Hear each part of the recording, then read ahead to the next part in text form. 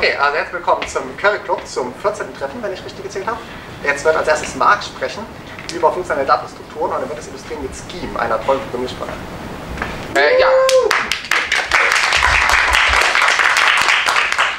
Ja, erstmal äh, herzlichen Dank für die äh, Einladung. Ich bleibe jetzt einfach hier mal sitzen, weil die Kamera so eingestellt ist und äh, es bequem ist und außerdem, weil ich noch am Computer was tippen will. Ähm, genau, also am Anfang hatte ich ja gedacht, Curry Club, naja, ich glaube, was indisch was zu essen gibt, deswegen war ich ja noch auf der Homepage, aber äh, hier stand was von Kategorien und dann. ja, also, ja, schlechte Witze waren nicht verboten, deswegen. Ähm, nutze ich das jetzt ja aus, wenn keiner wegläuft. Ähm, genau, also ich habe auch schon gesehen auf dem tollen YouTube-Channel, wo ich das Video 279 Mal abgerufen habe, um die Klicks hochzutreiben, dass es schon was äh, über, äh, über funktionale Datenstrukturen gab. Ne? Ähm, ja, Tim, da hast du ja einen äh, Vortrag gemacht, also auch nach diesem ja. Buch hier, genau, und zwar... Ähm, also genau, ich wollte irgendwas über, mit, mit Scheme machen und da habe ich gedacht, na gut, da brauchen wir natürlich auch ein interessantes Thema, was sich eignet und dann machen wir auch ein bisschen was aus dem Buch und noch etwas darüber hinaus, je nach Zeit. Äh, und zwar um, geht es da hier um Rot-Schwarz-Bäume. Die kennt man, oder kennt man auch nicht, aber jedenfalls sind es sozusagen ähm, seit den 70ern äh, bekannte Datenstrukturen und äh, die sind also in diesem Buch auch äh, funktional umgesetzt. Genau. Ähm, ja, dann fangen wir mal an. Also das können wir hier, glaube ich, jetzt äh, wegmachen. Ähm, genau, also als erstes vielleicht, äh, warum jetzt überhaupt Scheme? Also gut, wir suchen natürlich eine vernünftige Programmiersprache. Und wenn ich jetzt mal äh, hier gehe auf... Ähm, Schrift ein bisschen, also hm? dann ein bisschen größer machen. Moment, okay. Äh, so, wenn ich hier auf dieses Buch gehe, Compactness and Contradiction von Terence Tau, was ich jedem nur empfehlen kann. So, ja? Hm? Warum geht's denn? Äh, ah, das ist wieder so eine typische Remote-Frage. Das war, äh, kommt, ist egal. So. äh, wenn ich jetzt hier suche nach äh, Modern Programming Language. Was von Welt? Ah, Modern Computer. Ah, Such as C. ah, ich glaube, ich bin ja. Okay, gehen wir auf den anderen. Hier stand such as C. Ja, da waren wir jetzt vielleicht. So, also, wenn ich jetzt hier gehe auf äh, moderne Programmiersprachen, ja, kann das jeder lesen. Particular Functional Languages such as Lisp or Haskell. Das ist, äh, na gut, dann sollte man vielleicht für Lisp oder Haskell entscheiden. Ähm, insbesondere sollte man auf modern hier äh, Wert legen, nicht, wenn man bedenkt, dass Lisp die, glaube ich, die zweite höhere Programmiersprache von 1958 war. Aber ist, äh, sozusagen hat, hat sein Zenit immer noch nicht überschritten. Ähm, gut, Scheme ist ein Lisp-Dialekt. Ähm, äh, Lisp wird äh, häufig als Big Ball of Mud beschrieben, weil die Sprache dermaßen flexibel ist, dass man immer noch was ranklatschen kann. Und, so, und es bleibt auch Lisp. Ja, also wenn ich einen Matschball habe und kommt noch mehr Matsch dran, dann habe ich einen größeren Matschball, mit dem ich noch mehr machen kann. Und äh, Scheme ist ein bisschen strukturierter, deswegen würde man da vielleicht eher von einem Schneeball reden. Ja, denn äh, das ist sozusagen in sich etwas, äh, ähm, ja, Fällt auseinander. Nein, das äh, auf alle Fälle nicht. Ähm, gut, so, dann ähm, ist die Idee, dass wir jetzt vielleicht gleich parallel in Steam äh, etwas entwickeln. Also steht da Immutable Maps, habe ich das Ganze genannt, ähm, wird das Programm, Programmierprojekt sein, wo wir eben ähm, diese Datenstruktur entwickeln wollen. Ähm, genau, was kann man noch über Scheme sagen? Da steht diese andere Datei da, r7rs.pdf, das ist der äh, revised, revised, revised, revised, revised, revised, revised, revised, revised Report on Scheme. Äh, so, haben wir hier. Haben wir ganz auch wieder. Der hat immer die gleiche Länge, gell? All die Jahrzehnte ist er nicht länger geworden. Du darfst dir den Sechser nicht anschauen, dann ist es richtig. Ja, genau, also der hat jetzt, der stimmt auch nicht ganz, also der hat jetzt 80 Seiten, der Fünfer hatte 50 Seiten, aber äh, wenn man jetzt nur die Sprachbeschreibung anschaut, äh, dann dieses Inhaltsverzeichnis G, was mir jetzt, also fängt in Seite 3 an, ja, und wenn ich jetzt, sag mal, was das als Standardbibliothek hier ist, weglasse, dann komme ich auf unter 30 Seiten Sprachspezifikationen und das, äh, und vor allem ist das Ganze auch so geschrieben, dass man es lesen kann, ja, also wie ein Buch und nicht, äh, nicht wie irgendein so ein ISO 1090 Dokument oder so etwas, ja. Ähm, genau, und äh, vielleicht ähm, ähm, ähm, genau, das ist sozusagen, also vielleicht, also wer das sozusagen Scheme lernen will, dann lohnt sich auf alle Fälle vielleicht einfach den Report durchzulesen. Und ansonsten kann ich noch sehr empfehlen, wer das Buch auch nicht kennt, Structure and Interpretation of Computer äh, Programs. Also wenn jemand programmieren lernen will, oder also wenn ihr jemand kennt, der programmieren lernen will, dann einfach dieses Buch geben. Auf Amazon hat das 100 Bewertungen mit 5 von 5 Sternen und 100 Bewertungen mit 0 von 5 Sternen. Aha, Keine Zwischenbewertung. okay, aha, das war also offensichtlich ein Bot am Werk oder so, ja? Von dem, was man hört, ist es nach irgendwie 20, nach 20 Seiten sehr gut zu verstehen und dann geht es innerhalb von Seite zu Seite Konzept auf Konzept auf Konzept auf Konzept. Ja gut, dafür ist am Ende ist dann ein kompletter äh, Compiler entwickelt. Also dann hat man sozusagen.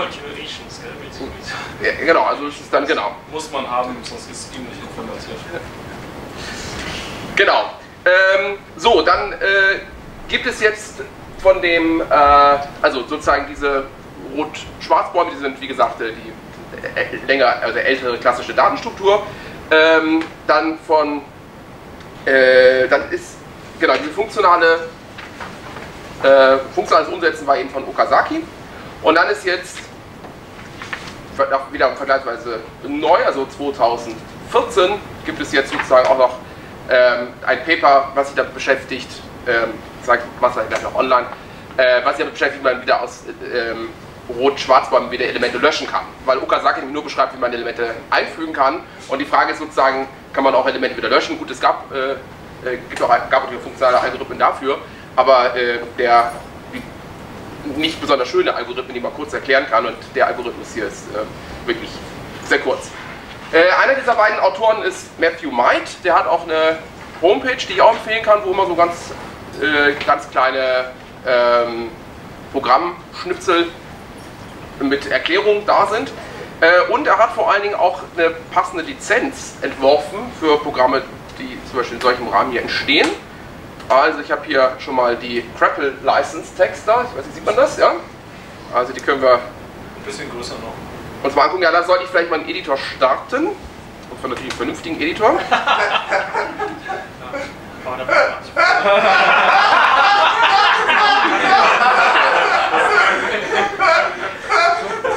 Okay, aber ich sollte vielleicht eine verbesserte Version nehmen. Da geht's vielleicht. Alias Wim. Ah ja, okay.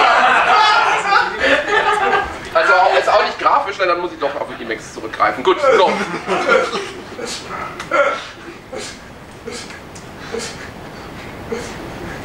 So, also das ist die Lizenz, mit der wir das Ganze entwickeln. Wenn Sie noch nicht kennen, kann man sofort in eigene Pro Projekte einsetzen, ja. Äh, Fontgröße. ähm, bup, bup. das weiß ich eigentlich. Das weiß ich nicht, wie das hier geht.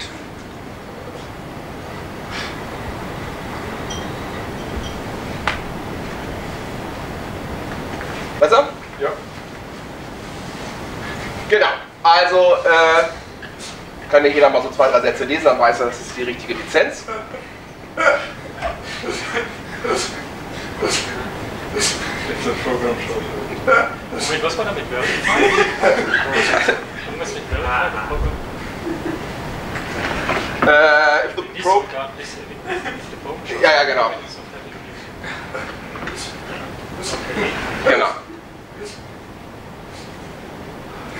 Okay, also es ist noch. Äh, gut, also oben ist noch der Grund, äh, warum er diese Lizenz entworfen hat. Okay, gut, dann würde ich sagen, ähm, starten wir mal. Äh, jetzt mit sinnvollen Dingen. Ähm, gut, also wir wollen ähm, Datenstrukturen, ähm, also eine Datenstruktur entwickeln, ja? Achso, da habe ich vielleicht oder hier vor, ich habe jetzt natürlich ein kleines Make-File geschrieben, um zu testen, ob wir. Moment. Aha. So. Äh. So, sag mal. So, also funktioniert noch gar nichts, das liegt aber auch daran, dass wir auch noch nichts geschrieben haben. So. Also, ähm, Kannst du den Terminal weiter hoch verschieben, dass die unterste Zeile nicht ganz unten ist? Ja, Das jetzt bitte jedes Mal. gut. Okay. Also make, check, test unser Programm, ob es funktioniert. Gut, also wir wollen jetzt eine kleine Bibliothek schreiben. Ähm, so, da muss ich jetzt... Äh, also ich definiere jetzt erstmal eine kleine Scheme-Bibliothek. Ähm, gut, den ganzen solchen Namen wollte ich Namen geben. Ich schreibe mal einen Nachnamen davor. Ähm, damit man sozusagen nicht mit den Standardbibliotheken durcheinander kommt. Ja, also wenn es mit Scheme beginnt, ist es eine Standardbibliothek. Ähm, gut, so, dann wollen wir natürlich irgendwas exportieren. Ja, wir wollen einmal, äh, brauchen einen Konstruktor, der uns ähm, rot äh, Schwarzbäume oder beziehungsweise einfach äh, äh, ja, Abbildungen ähm, liefert. Den könnte ich jetzt Map nennen, aber Map ist auch eine Standardprozedur und dann hätte ich sie jetzt auch nicht mehr zur Verfügung, deswegen sollte ich das anders nennen. Ähm, gut, damit es sich besser verkauft, nennen wir es besser mal IMAP. Und dann äh, sollten wir vielleicht auch eine Prozedur haben, die feststellt, ob etwas, was wir haben, auch wirklich eine IMAP ist. Das ist sozusagen jetzt der Typ. Und ähm, gut, dann wollen wir sicherlich eine Prozedur haben, die feststellt, ob ein bestimmter Schlüssel in unserer IMAP drin ist. Ähm, dann wollen wir vielleicht auch einen äh, Wert hinzufügen und einen löschen. Gut. Ähm, dazu brauche ich sicherlich ein bisschen was von der Standardbibliothek. Das heißt, die Basisbibliothek kommt mit rein. So, jetzt schreibe ich noch, äh, also das, dieses Konstrukt werde ich auch noch brauchen, deswegen schreibe ich es jetzt schon rein. Dann ähm, gibt es bei Scheme gibt es sogenannte Surfies, das sind äh, Scheme Requests for Implementation, die sozusagen analog zu den RFCs benannt worden sind. Also das ist so, äh, wenn Leute denken, dass es sinnvoll wäre, wenn zukünftige Standards von Scheme noch gewisse weitere äh, Dinge unterstützen, dann schreiben diese Leute ein Surfy. Und ähm, gut, dann wird es diskutiert und dann ist der Status irgendwann mal Final oder Withdrawn. Und ähm, gut, Surfy ist jetzt, ist jetzt egal welches das ist, äh, das ist jetzt eins, was, äh, genau, was den Final-Status erreicht hat, was ich jetzt auch gleich in Programm brauchen werde. Ähm, und so ein Scheme-System kommt in der Regel mit einigen Surface mit implementiert und anderen nicht. Und äh, einige, die jetzt nicht dabei sind, das ist jetzt äh, das Ding hier, ähm, kommt ja auch noch dazu. Ähm, da kann man einfach natürlich die Implementation, die steht schon jetzt im Verzeichnisbaum drin. Gut, so jetzt wollte ich natürlich noch was schreiben und damit das Ganze hier sozusagen die Schnittstelle getrennt ist von meiner Implementation, ähm, bin ich jetzt einfach das jetzt hier ein. Okay, gut, damit äh, haben wir sozusagen die Schnittstelle geschrieben, ungefähr. Muss ich dann wieder wechseln, aber ähm, genau, gut. Also gehen wir jetzt hier in das Programm rein. Also wir wollen als erstes, wollen wir jetzt einen Datentyp haben für so eine Immutable Map. Äh, neuen Datentyp bei Scheme bekomme ich, indem ich äh, einen neuen Record-Typ definiere. Das ist im Prinzip einfach eine Struct in C oder einfach ein Record. Die kriegt jetzt einen internen Namen, der aber gar keine Rolle spielt. Und dann schreibe ich jetzt nur hin, wie der Konstruktor aussehen soll. So, was muss ich für so eine IMAP wissen? Naja gut, ich, äh, da drin steckt jetzt irgendwie ein Baum als innere Struktur. Also der mir sagt, äh, also, dass ich die Elemente wiederfinden kann.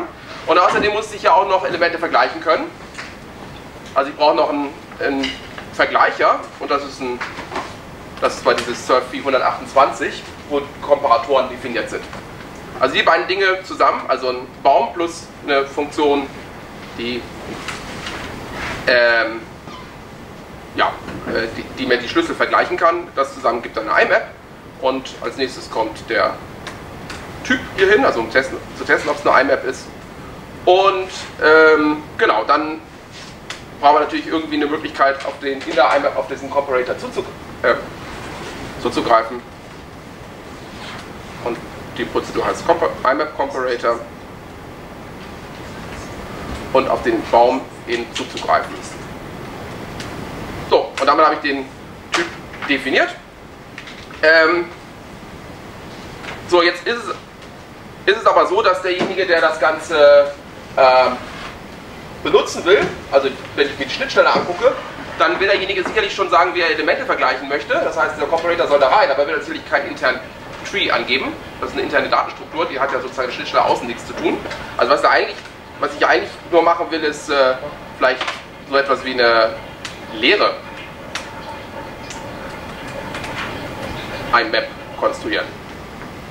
Also ich schreibe es mal jetzt hier. Das müssen wir nachher ausfüllen. So. Ähm, so, das heißt, das hier sollte irgendwie ein interner Konstruktor sein. Deswegen nenne ich das Ganze mal Make IMAP. Okay? Und das Ding sollte natürlich irgendwann mal aufrufen, also den Konstruktor mit dem Komparator und dann kommt jetzt irgendwie eine interne Struktur für den Baum rein. So, okay. Und äh, jetzt äh, gehen wir hier nochmal auf das Testen und ähm, also er macht jetzt gar nichts, okay. Ähm, dann muss ich die anderen noch ganz Ich habe jetzt noch nicht ganz mitgekriegt. Ja? Ich habe mal eine 4 ES Clean gemacht und da gab es noch keinen Rekord. Was bedeutet der Rekord? Also, das bedeutet, äh, also im Prinzip ähm, bedeutet der, dass ich einen neuen Typ erzeuge, ja? Also, Das ist der Name oben. Das ist der Typname. Und diese, diese Ja, also- Argumente. also äh, das oben ist dieser interne Typname, der spielt hier überhaupt gar keine Rolle. Es gibt auch bei dem, also bei der aktuellen Scheme-Version noch gar keine Möglichkeit, irgendwas mit diesen Dingen da oben anzufangen. Das ist für Erweiterung gedacht. Ja. Was für den Programmierer wichtig ist, dass dieses IMAP Fragezeichen, das ist das Prädikat, was feststellt, ob eine Variable von diesem Typ ist. Und was, was Define Record Type macht, er legt einen neuen Typ an und garantiert, dass der disjunkt ist zu jedem anderen Typ, der schon im System vorhanden ist. Also Typen sind ja irgendwelche dynamischen Dinge in dem Scheme. Genau. Das kann ich also auch, ich kann auch Define Record Type äh, zigmal aufrufen. Dann habe ich jedes Mal einen neuen Typ produziert. Also jedes Mal, jetzt, jetzt mache ich es nur ein einziges Mal, ne? Also das definiert dann äh, die Definition IMAP Fragezeichen und Make IMAP und Genau, also es definiert, und IMAP Tree. genau, also es definiert so, genau, es definiert eine Prozedur Make IMAP. Wenn ich da zwei Objekte reinstrecke, dann kommt etwas raus, auf dem das Prädikat IMAP Fragezeichen wahr ergibt. Und jetzt ist IMAP Comparator ist sozusagen, das spuckt mir wieder den Comparator raus, wenn ich, die, wenn ich so eine IMAP reinstecke. Und IMAP Tree spuckt mir den Tree wieder raus. Ach, das der Konstruktor, dann der Diskriminator und dann die Selektoren. Richtig, genau. Und wenn ich das Ganze, da ich ja sozusagen auch nicht funktional äh, schreiben kann, würde ich das Ganze jetzt hier Ja. Das so etwas nennen und dann sollte ich, gehört ein Ausrufezeichen hinten, hinter, dass man weiß, was man macht. Aber das brauchen wir jetzt hier an der Stelle nicht. Okay, gut, aber sonst gerne auch noch Fragen stellen, weil ich einfach sonst, äh, genau, weil ich auch sozusagen kein langweilen will, aber auch Also das sind dynamische Typen. richtig, genau. Das muss man hier explizit sagen in diesem Raum. Wir, keine, wir hatten, glaube ich, noch keine dynamisch getypte Sprache. Genau, also Das ja. Äh, ge genau, also es ist vielleicht auch, genau, also es ist einmal äh, sozusagen die Frage ist, äh, äh, genau, also warum, warum, warum Scheme? Also ich meine, das ist sozusagen was anderes als jetzt eine statisch getypte Programmiersprache. Und äh, das hat jetzt, ähm, also inwiefern ist das jetzt in irgendeiner Form besser? Also gut, ich meine, die Programme, werden, die Programme können etwas kürzer werden, weil man die Typen weglässt, also komplett. Ähm, und der Vorteil ist, ich meine, das äh, selbst ein Typsystem von Haskell reicht ja nie aus. Also wenn man guckt, wie viele an, den, an GHC an Typerwartung rangeklatscht ist, reicht es nie aus. Also sagen wir mal dann halt keinen. Ähm, das heißt also, kann ich ganz, direkt ganz auf Typen verzichten. Also, also nee, also sozusagen auf, auf, auf statische Typüberprüfung des Compilers. Äh, wobei wir natürlich, ähm, äh, also wenn ich wollte und genug Zeit hätte, könnte ich jetzt natürlich auf Scheme drauf noch was programmieren, äh, was mir sofort statisch wieder alle Typen ist. Ja, dann musst du einfach jedes Mal, wenn du was irgendwo reinschmeißt, da eine Fragezeichen. Ja, das ist natürlich dann etwas, was, dann brauche ich einen ziemlich guten Compiler, der mir das Ganze wieder rausschmeißt, weil er sonst halt zur Laufzeit tausende Überprüfungen macht, die unnötig sind. Ja. Ähm, aber gut, klar, wenn ich jetzt natürlich einen sehr guten Compiler habe, dann geht's, ja? Moment, man muss das ja nicht immer machen. Äh, Also man programmiert so, dass man, das sehen wir ja dann, dass Man man, weiß ganz genau, dass- dass- man erwartet implizit, dass das der Genau, also entweder kann ich in die Dokumentation das reinschreiben oder, ähm, äh, genau, also ich meine, äh, äh, es gibt sozusagen, es hängt jetzt auch ein bisschen vom, vom, vom Interpreter oder Compiler ab. Ich meine, einige haben dann wie C undefined behavior, das heißt, es passiert irgendwas, wenn der falsche Typ da drin ist und andere warnen mich dann, ja. Das ist zum Testen natürlich etwas angenehmer. Ähm, okay, gut. So, dann ähm, wollen wir in so einen Baum was reinschreiben. So, was ist jetzt so ein, ähm, ein Schwarz-Rot-Baum?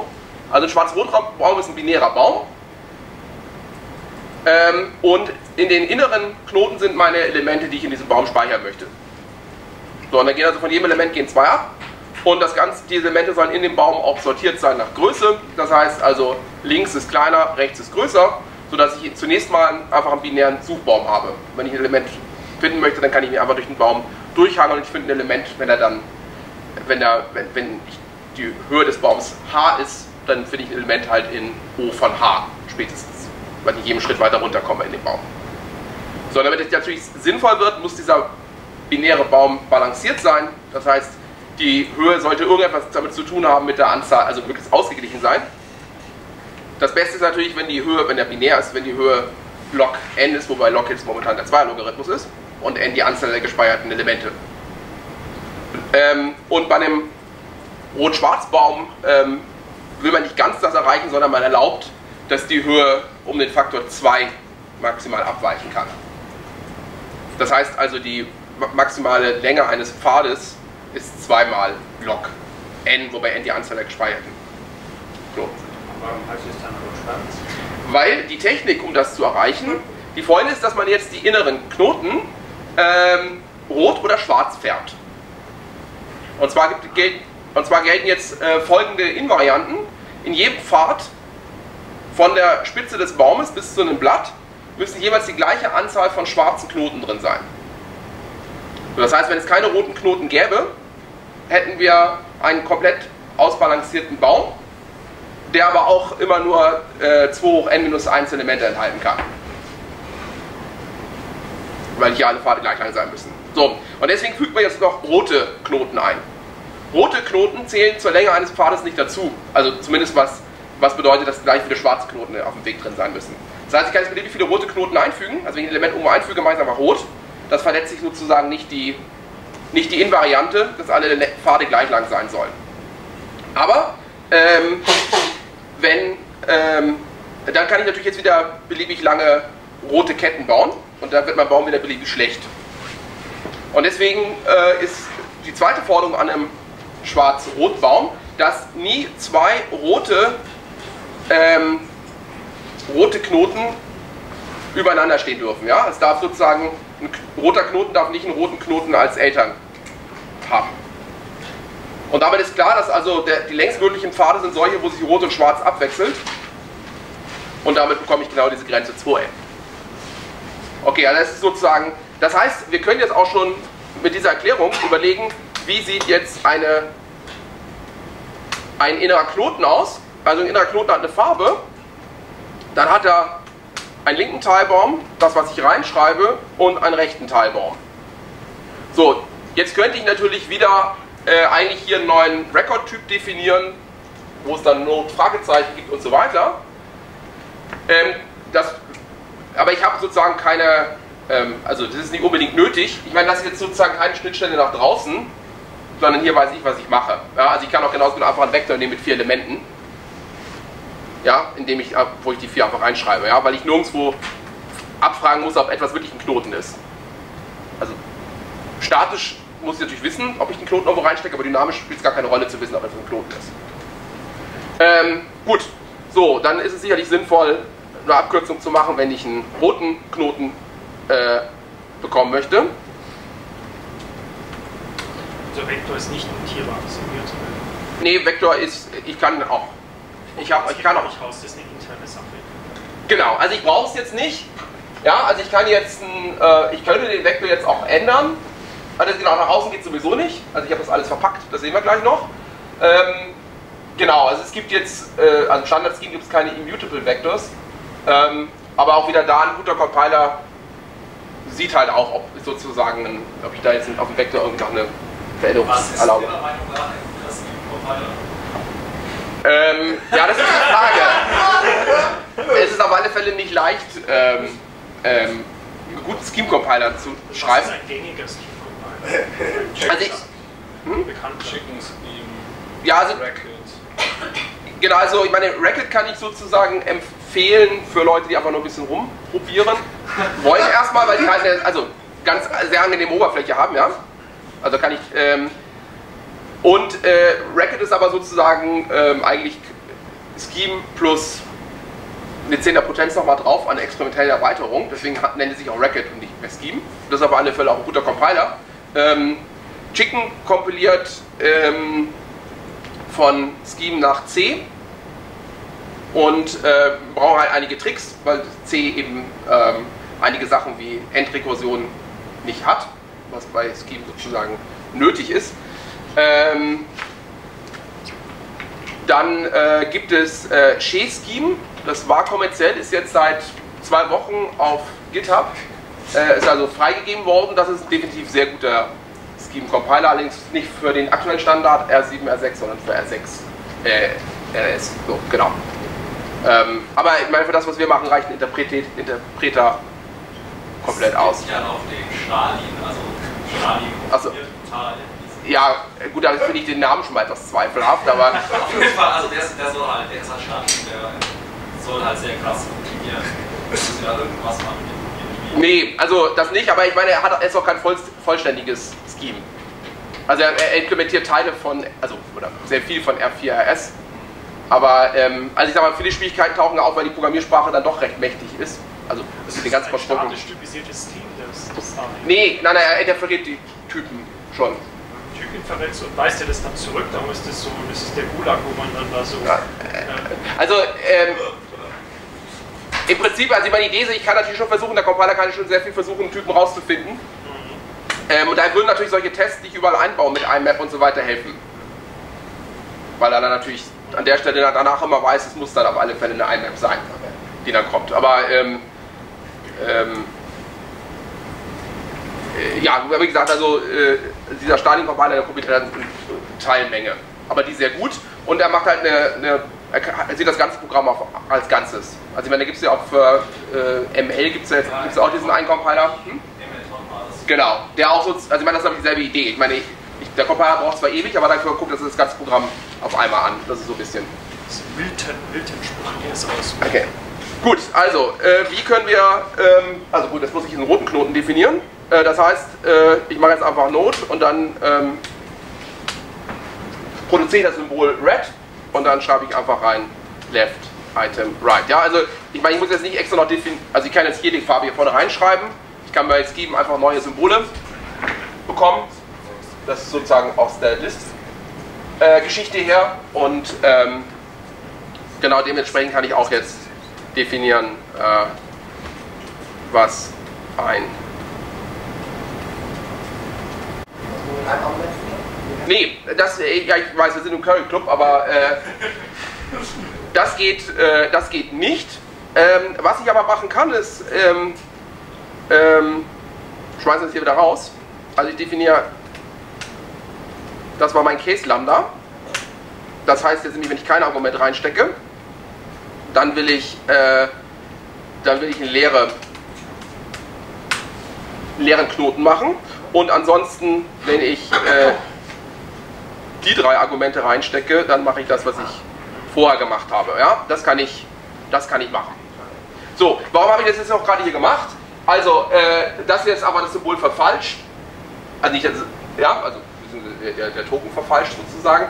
Ähm, ich brauche natürlich am Ende, irgendwo hört man Baum mal auf, das heißt, ich brauche wie Blätter.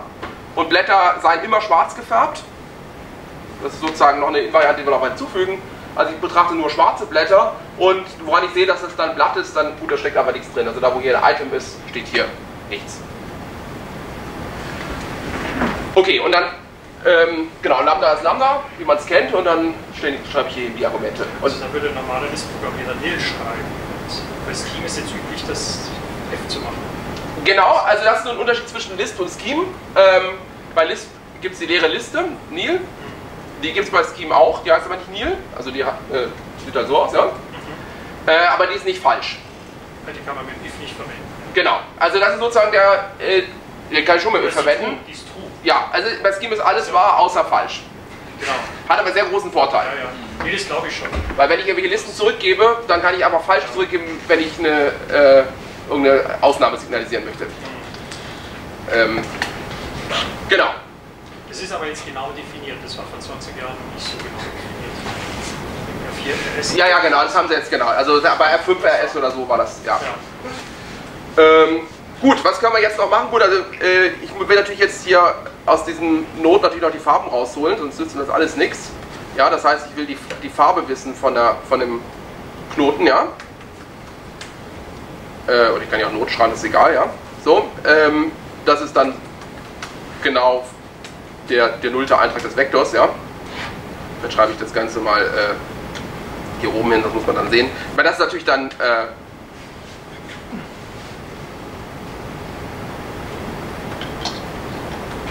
Also das würde mir der Record-Typ natürlich äh, selber machen, ja. So, ich wollte nur beides mal zeigen. Gut.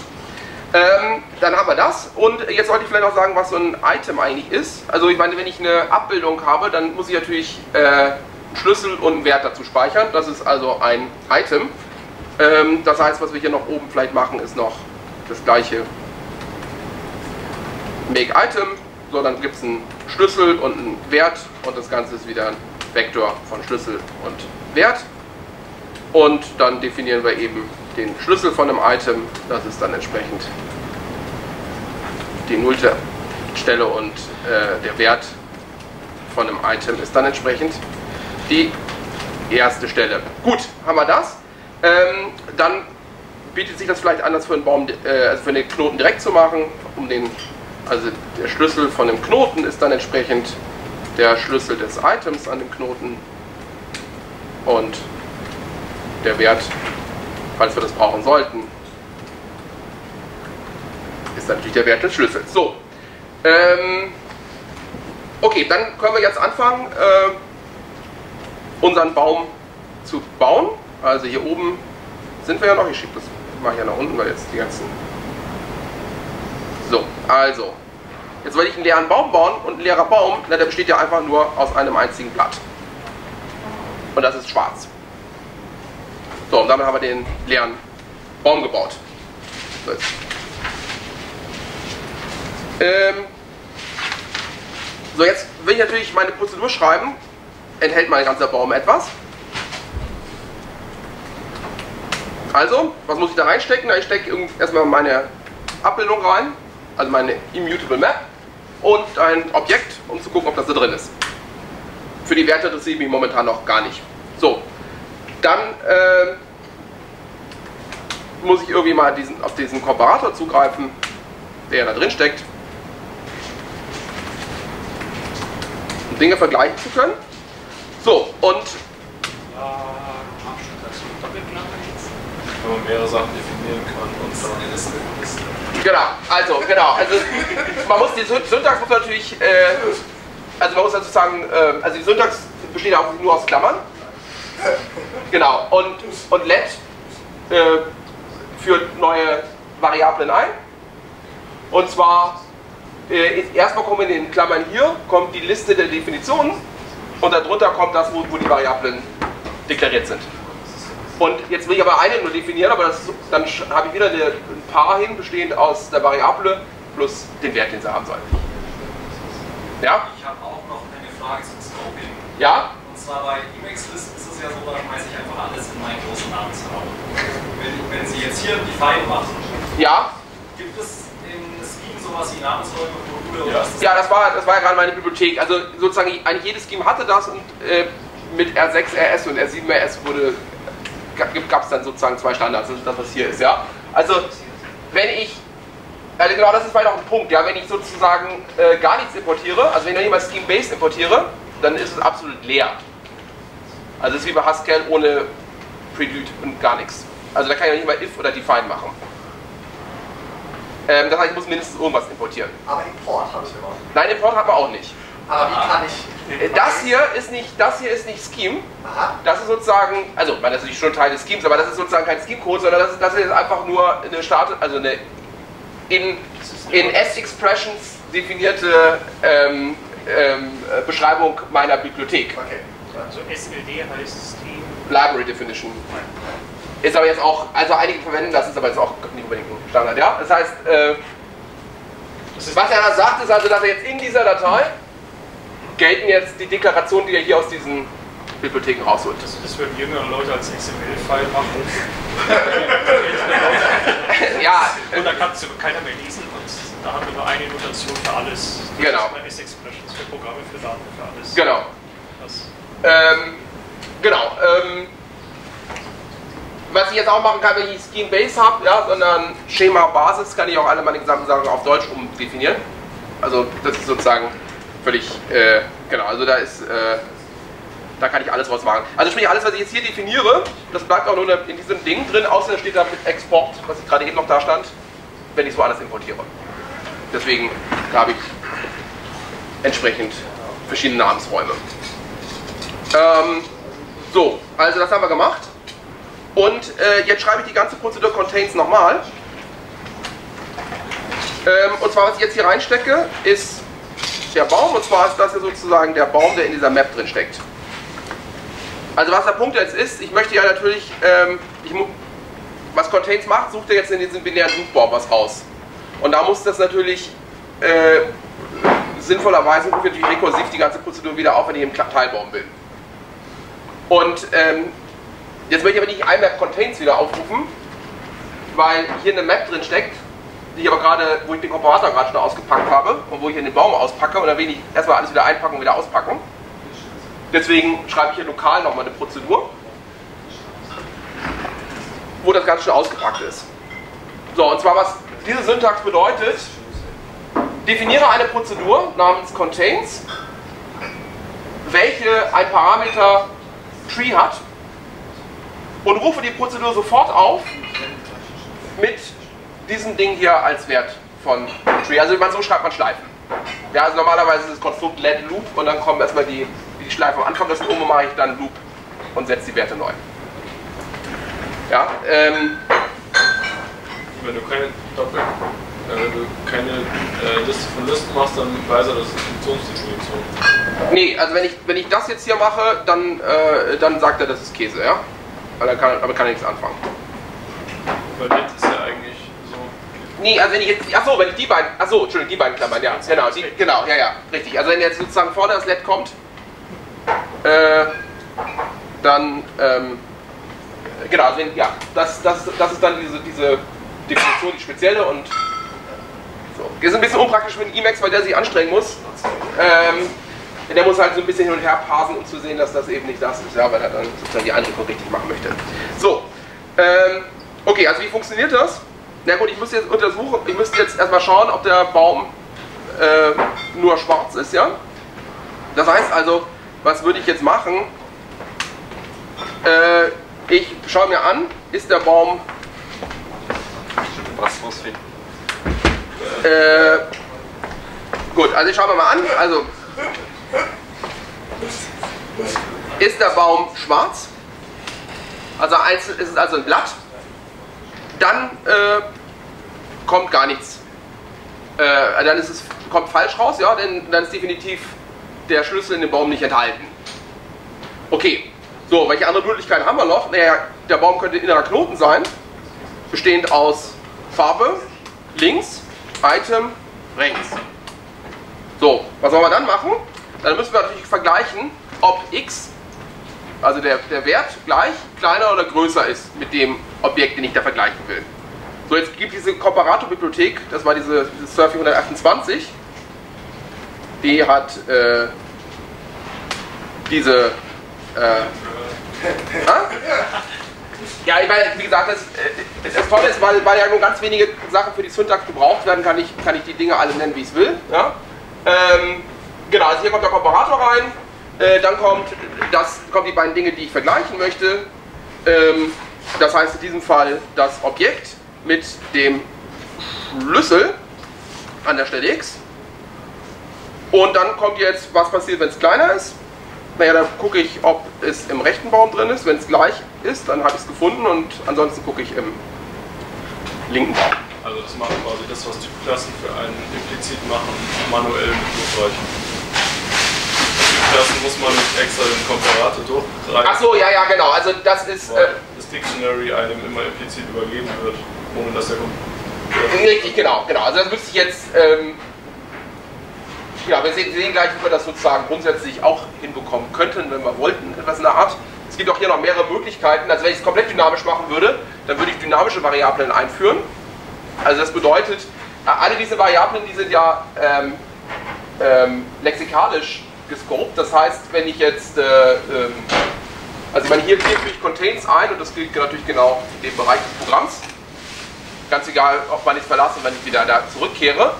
Dynamisch würde bedeuten, ich, äh, ich, ich setze Contains auf irgendeinen Wert und dann gilt der Wert so lange, bis der Programmfluss wieder dieses Let hier verlässt.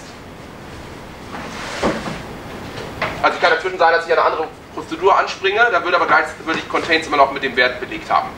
Das haben alte Lisps gemacht. Und das mache ich. Immer- Ja, genau, aber die wollen ja umstellen irgendwie, ne? Oder, ähm, das, hat, das ist natürlich bei solchen Sachen, ich kann natürlich am Anfang mal definieren, was kleiner gleich ist. Und dann haben natürlich, und dann haben dann alle Prozeduren, die ich ab da aufrufe, können kleiner gleich verwenden. Und das ist dann sozusagen dynamisch durchgereichte Typklasse in dieser das Weise. Ja, ja, es ist sozusagen, äh, ich kann das auch nicht umstellen, ich muss dann sozusagen, das sind sogenannte Parameterobjekte, die ich einführe. Wie würde das aussehen, wenn ich eine Variable?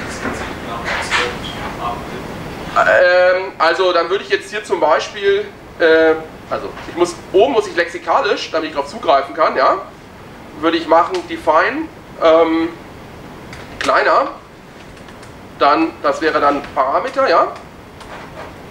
So, da steckt momentan nichts drin.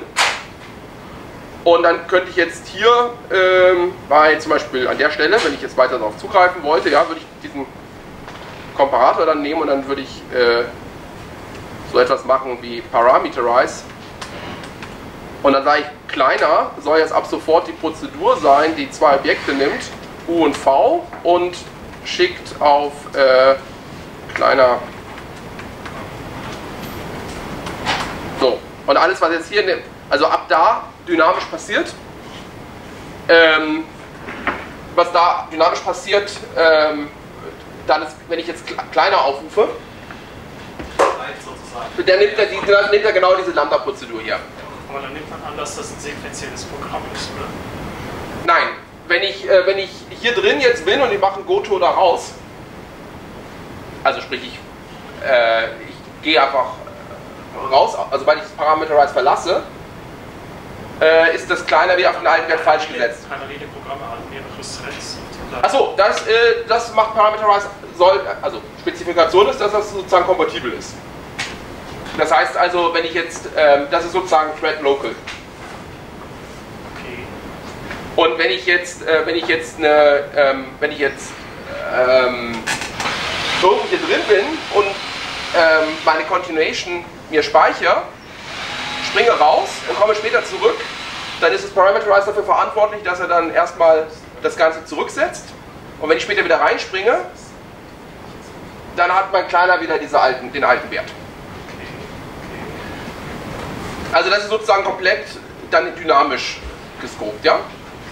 Das ist aber erst seit äh, 7, also seit 6 oder 7. Ist seit genau Surfy 34 oder so ist das. Die 5 habe ich mir mal durchgelesen, da kam da nichts davon. Nee, da, nee das, äh, genau, wie gesagt, das kam dann. Das ist Also, aber explizit Thread Local gemacht von der Semantik. ja, ja, genau, ansonsten, ansonsten kann ich es auch zu Fuß programmieren. Ich könnte ja da jetzt auch die intern parallel programmieren wollen. Dann funktioniert das nicht, wenn ich den Kontext plötzlich wechsle. Äh, Ist auch, also wenn ich, wenn ich jetzt mit, wenn ich jetzt mit, wenn ich jetzt mit, ähm, was ich Call with Current Continuation jetzt selber ähm, mir Threads programmiere, dann funktioniert es auch. Weil da, dafür sorgt das Parameterize. ja, Und- also und- das, sind ja, das, ist ja, das sind keine echten Threads. Nee, genau, wenn ich echte Threads habe, Ja, dann äh, ist das Scheme-System dafür verantwortlich, dass, es- funktioniert. dann müsste er da irgendeinen so Programmkontext aufbauen, der dann dafür wenn ich Ja, richtig, genau, genau. halt drüber springe auf den anderen, den da mitnimmt oder so. Nee, wenn ich auf den anderen Thread gehe, dann hat er, der hat ja seinen eigenen Kontext. Das ist ähnlich wie, wie Ports. Also wenn ich den Standard Ausgabeport habe, dann ist er Teil des Kontexts. Und wenn Thread, ein Thread einen anderen Standard Ausgabeport setzt, dann ähm, will ich ja nicht, dass der, dass, die erste, dass der erste Thread der auch umgesetzt hat. Ja. Okay, aber lassen wir das, das schweift zu sehr ab. Äh, Ich habe auch eine Frage, wenn man bei diesem dynamisch Ja. Ausdrucken jetzt äh, irgendeine Hilfsfunktion aus einer ganz anderen Bibliothek auf die, Ja. die nächste Nutzung zu tun hat. Und ich verwende zufälligerweise auch so eine Variable kleiner. Ja, das, kein Problem, weil der Name ist selbst da nicht lexikal. Richtig, genau. Also kleiner ist natürlich eigentlich die, äh, um, um Zahlen, äh, also er würde jetzt hier auch einen Fehler melden, weil ich kleiner nicht umdefinieren darf. Warum darf ich sie umdefinieren? Weil ich es am Anfang importiert habe. Ja, also äh, ich kann natürlich folgendes machen, ja. Dann, dann geht's wieder, ja? Also dann, äh, da, dann aber ähm, genau, aber das ändert sozusagen nichts daran. Also ich brauche immer sozusagen einen lexikalischen Anker, was auch sehr sinnvoll ist. Ja, sonst äh, Darf man dieses, ähm, dieses dynamische ähm, exportieren? Also wenn wir jetzt kleiner definieren. Achso, ja, das kann ich dynamisch exportieren, genau. Okay. Also äh, ich meine zum Beispiel, äh, hat Steam hat, deswegen hatte ich das Beispiel gehabt, da gibt es eben Current Output Port, was Ah, Standard was Out ist und das ist sozusagen, Make Port. Genau, genau. sozusagen, genau. Hallo. Dafür war das wahrscheinlich gedacht, wegen den Ports. Das war ursprünglich mal, genau. Und das war dann, äh, äh, genau, Da könnte man in Emacs jetzt Current Buffer sozusagen, genau. With Current Buffer. Okay, so, ähm, wenn wir das jetzt, also soweit ist hoffentlich ungefähr klar, wie man jetzt sucht, ja? Das, jetzt gibt es eigentlich sozusagen zwei Probleme. Also das eine Problem ist die Einrückung hier. Hatten wir Tree Match oben schon definiert? Nö, das ist das zweite Problem. Also das eine Problem, das, das eine Problem ist sozusagen einfacher, ja. Das kann mein Wie. Das ist magisch, das wird uns Compiler Infrared. Warte mal, welcher Compiler gleich nochmal? So, äh, genau, das ist das, die andere Standard, nicht Standardprozedur hier ist die, der Wie auch nicht Bescheid weiß. So.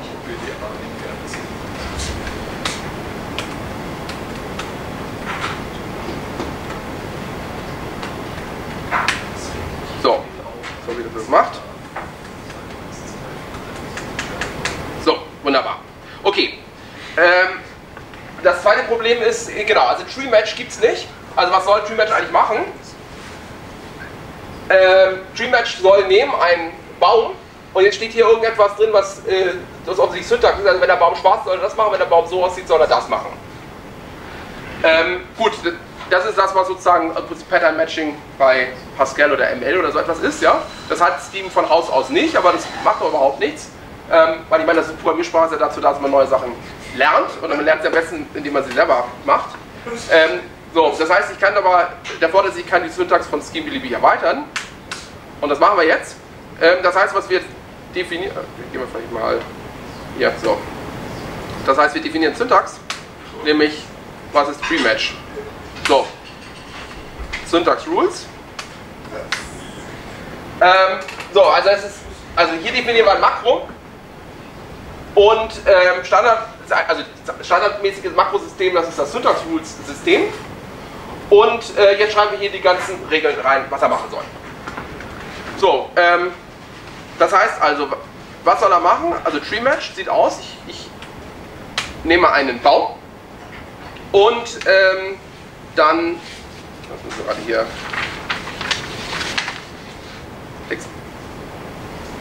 so, ich nehme einen Baum. So, und jetzt, ähm, wenn ich hier noch runterschaue, wie das aussehen soll, dann habe ich jetzt hier immer irgendein Pattern, irgendein Muster und hier habe ich eine, eine, äh, einen Ausdruck oder eine Folge von Ausdrücken. Das heißt also, was ich hier reinschreibe, er soll ein Pattern nehmen und eine Folge von Ausdrücken. So, das heißt also, ähm, so etwas, ja? Zwei Ausdrücke zum Beispiel, von denen man das letzte dann zurückliefern würde. Hier steht jeweils nur ein Ausdruck. So, jetzt ist, äh, jetzt ist X Pro 1, X Pro 2 ist da der Schwanz dieser Liste. Das Ganze kann ich in Scheme, also das ist der sozusagen, die Liste besteht aus dem Kopf Pattern und dem Rest Expression. Stern soll andeuten, das sind halt sozusagen noch eine ganze Liste von Ausdrücken. So, jetzt gibt es aber sicherlich nicht nur ein Pattern. Stellen gehört zu den Namen jetzt. Ja, ja, genau. Das ist, das ist nur eine Konvention. Genau, Das ist ein normales Cons, dieser Punkt. Ist Richtig, genau. Normales Cons. genau, Hit and take. genau. Und jetzt gibt es aber nicht nur einen, einen so einen Ausdruck, äh, sondern ich habe mehrere. Punkt, Punkt, Punkt. Und äh, gut, und was soll er daraus machen?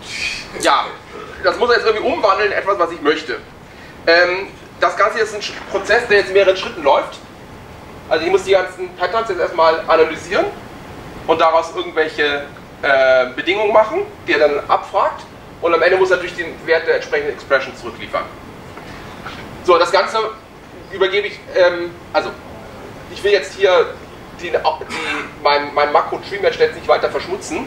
Deswegen geht das Ganze jetzt an den Hilfsmakro. Das nenne ich jetzt einfach AUX für Auxiliary. Und ähm, so, AUX soll verschiedene Sachen können. Also ähm, die, die erste Sache, die es machen soll, sind sicherlich, also ich habe das Ganze jetzt einfach Compile Patterns genannt. Da soll ich aber nach und nach die Patterns umwandeln in Ausdrücke, mit denen Scheme was anfangen kann. Und dann, äh, komm, muss dir natürlich alles übergeben, was ich weiß. Ja? Dann den Baum übergebe ich. Und ich übergebe die Pattern. So, und fertig bin ich hiermit. Fast jedenfalls. Also außer, dass ich das weitere Makro hier gar nicht geschrieben habe.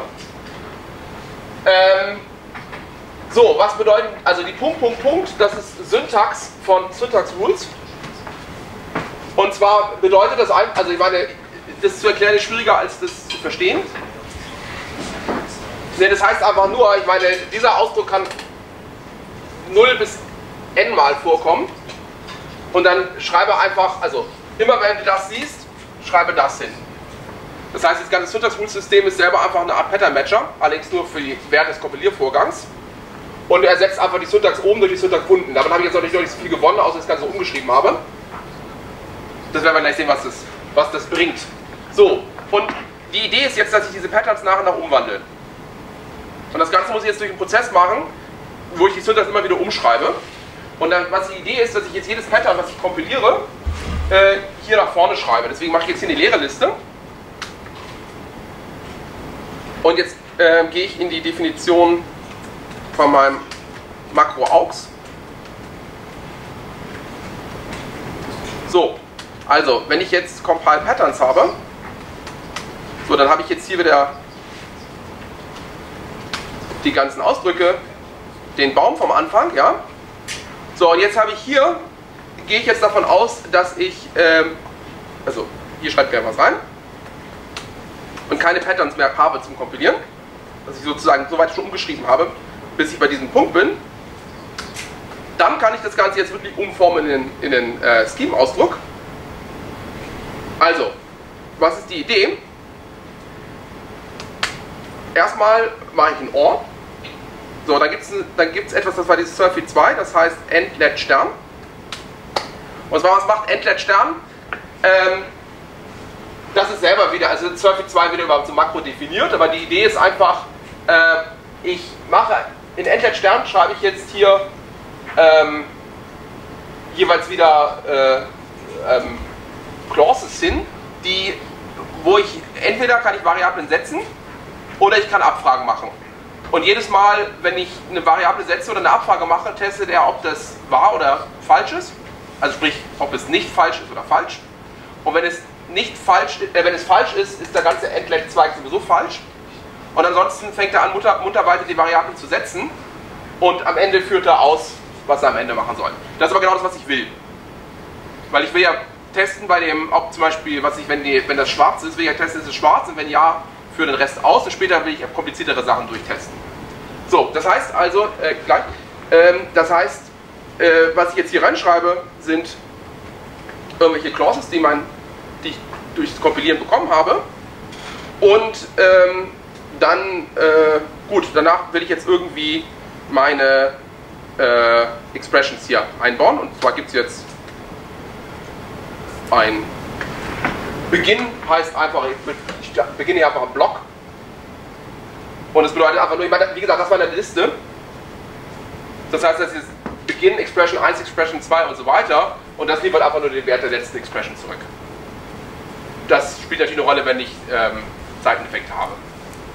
Ja? Ähm, dieses Endlet-Sternchen, Ja? gibt es dann auch ein Endlet ohne Sternchen? Nee. Okay. Ähm, das, achso, vielleicht, ja gut, also ich habe ja LED eingeführt, ja. Also es gibt insgesamt äh, ähm, ja, es gibt mehrere LEDs, ja. Also es gibt LED, LED Stern, LED Rec und LED Rec Stern. Und ähm, was LED macht, ist, wenn ich jetzt, also nur interessant, wenn ich mehrere Sachen gleichzeitig definiere. Was LED macht, ich de definiere die Sachen simultan. Das heißt also, wenn die rechten Seiten die zu definierenden Variablen enthalten, dann bezieht sich aber diese auf, auf das, was da drüber stand. Während LED Stern die Variablen nacheinander definiert. Ähm, aber wiederum, aber LED Stern ist aber eine Folge von LEDs. Und LED Rec, da darf sich die Variable, also dann, dann ist sozusagen die Variable schon gebunden, sobald ich noch die, während ich schon den, äh, äh, also hier zum Beispiel, ja, also wenn das, also wenn das LED, LED, LED Rec wäre, dann, und hier, hier stünde Komparator auch noch, dann wäre das, würde sich schon hier drauf beziehen. Ja, das, das war so bei klar, aber wollte ich gar nicht. Und Endlet, ja, Endlet Stern äh, ist, das, die Idee ist hier dabei, dass ich in jedem Schritt eine neue, neue Variable einführe und die kann ich weit später schon direkt verwenden Aber in den das- Clauses. Dieses Endlet ist schon eine existierende Funktion der Sternchen. Das ist genau das Surfy 2. Kurzes Makro. Okay, die gäbe es auch ohne Sternchen, wenn ich das haben Nee, wollte. Die gibt es nicht ohne Sternchen, das ist, weil, ist glaube ich auch nicht viel, also, Also Stern heißt sequenziell. ja, ja, genau. Da gibt es nur ein sequenziertes. Ja, genau. Also das ist aber, wie gesagt, da hat derjenige sich so ausgedacht, der hätte es doch nicht Endlet nennen müssen. Also, da gibt es nichts anderes. Genau. So, ähm, so, jetzt machen wir das Ganze hier, ähm, äh, also genau, also jetzt habe ich hier noch Punkt, Punkt, Punkt dahinter gesetzt, weil ich ja nicht nur eine, ich habe ja sozusagen mehrere Zweige, ja, für jedes Pattern kriege ich so einen eigenen, eigenen Test bauen. Ähm, das heißt, jetzt weiß ich auch, was bei XXX rein muss, ne? das ist ja dann sozusagen meine Clauses.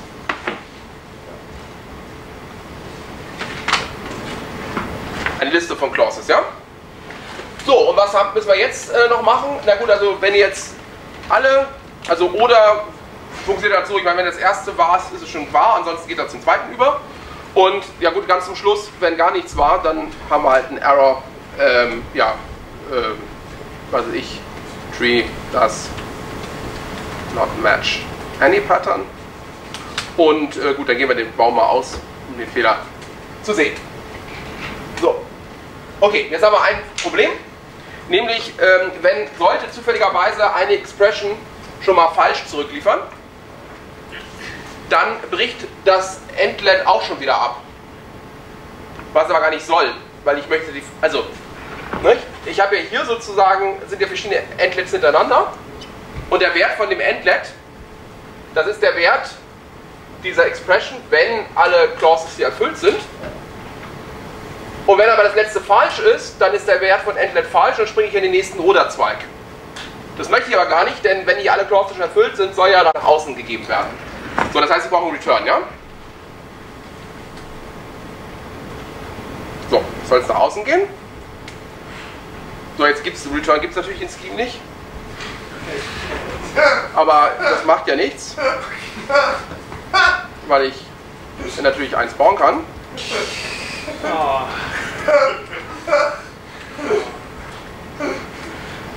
Und Problem ist gelöst, ja? Also. Ähm, also ich meine, das sozusagen Corpus Current Combination ist sozusagen ähm, Goto vernünftig. Und äh, also was ich jetzt hier mache ist, äh, hier, ich schreibe immer eine Prozedur rein in das Current Combination, nämlich das ist da, wo mein Programm gerade ist. Das Ding heißt jetzt Return. Und wenn jetzt hier irgendwo etwas, weil ich jetzt hier bin, geht der Wert an das Return. Das Return ist aber die Funktion, wo ich hier gerade war, nämlich da. Und dann gibt es dann da raus. Also das ist aber sozusagen, das ist jetzt auch sozusagen der harmlose Fall von Current Continuation, denn das ist einfach äh, in jeder Sprache mit Exceptions ist es einfach, wenn ich hier eine Exception werfe und oben auffange. Ähm, also deswegen hat Scheme natürlich, also bräuchte Scheme keine Exceptions, weil wir die auch sozusagen zu Fuß machen können, hat aber trotzdem welche, weil ähm, die Standardbibliothek einige werfen möchte. Jeder braucht Exceptions.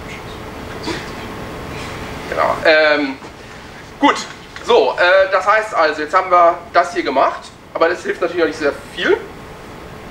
Das ist ja sozusagen, also das ist jetzt, wenn ich das komplett alles, äh, ähm, also hier heißt ja schon, dass ich gar kein Pattern mehr habe, alles zu Clauses geworden ist. Und jetzt muss ich natürlich das Problem lösen, ähm, was mache ich, wenn jetzt noch mindestens eins hinten steht. So, das interessiert mich jetzt nicht mehr, ja, das nenne ich jetzt einfach E. Der Baum lassen wir hier. So, jetzt habe ich irgendwelche Clauses, die interessieren mich jetzt auch gerade nicht. Und hinten habe ich jetzt noch mindestens ein Pattern stehen. So, okay, was kann ich jetzt machen? Na, jetzt muss ich das Pattern einfach kompilieren, ja? So, was soll ich die ganzen String-Ausdrücke hier vorne eigentlich? Naja, er macht ja, er macht ja beim Makros einfach nur Pattern-Batching. Das heißt, ähm, wenn jetzt hier irgendwas anderes steht, was hier nie auftaucht, dann würde er halt melden, er hat nichts gefunden. Alternativ könnte ich jetzt auch da neue, neue Syntax definieren, wer das möchte. Aber so ist es ein bisschen einfacher, ja? So Ja, ja, genau. Also es ist, äh, also wie man hier auch schon sieht, also nach kurzer Zeit ist es offensichtlich Turing vollständig ist. Das heißt also Kombinationsvorgänge dürfen auch beliebig lange dauern. So, ähm, also, ähm, ja. Jetzt ähm, nehme ich also den Tree, den brauche ich nicht. Das Pattern möchte ich gerne kompilieren. So, das ist im Prinzip die Idee. Okay, das heißt, jetzt definieren wir als nächstes, was macht Compile Pattern? Jetzt nehme ich den äh, Baum. Und jetzt haben wir schon eine Sache, haben wir gerade eben gesehen, ich brauchte zum Beispiel das Pattern ist Black. So, was es jetzt zurückliefern soll, sind ja offensichtlich, äh, ist jetzt irgendein Test, ob etwas, ob etwas nur aus einem Knoten besteht. Aus, äh, aus einem Blatt besteht. So, wie mache ich das? Naja, ähm, äh, ich muss einfach nur testen, wo habe ich das jetzt hier gerade, äh, dass ich einen schwarzen Baum habe. So, das ist jetzt ein bisschen, das ist jetzt diese Syntax für dieses Endlet, ja. Also ich teste, ob mein Baum schwarz ist, versetze ich dadurch. Und was muss ich auch noch testen? Ja, dass nichts drin ist. Das war ja, Letter hat ja gesagt, das sind die Items falsch. Gut. Fertig. Das ist aber jetzt leider auch nicht, äh, nicht wirklich fertig. Also, nochmal kurz zur Idee. Also, er will nach und nach die ganzen Patterns kompilieren. Dazu äh, nimmt er jetzt ähm, genau, sich das erste her, ruft dann diese Compile-Pattern auf und diese, wenn dieses Pattern zum Beispiel einfach nur aus Black besteht, dann soll er das ersetzen durch etwas, was später hier hinkommt, diese Clauses, ähm, durch eine Reihe von Abfragen, die alle erfüllt sein müssen. Ähm, und das eine ist eben, dass, dass, dieser Baum schwarz ist und dass der ähm, äh, dass eben nichts drin ist. Das ist ein Blatt. Das Problem ist nur, was macht, was macht Scheme? Also, Scheme, ich, ich mache mal Tree Match, dann lande ich da, dann lande ich da und dann lande ich da und was am Ende ausgespuckt wird, ist aber nur diese Zeile. Was ich aber gerne möchte, ist, dass diese Zeile hier eingesetzt wird.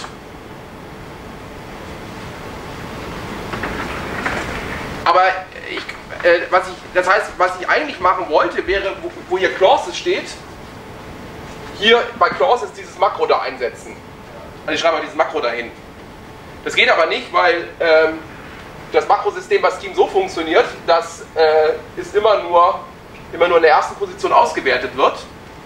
Also ich, über, ich übergebe sozusagen, also da, da ist sozusagen die Auswertung äh, lazy.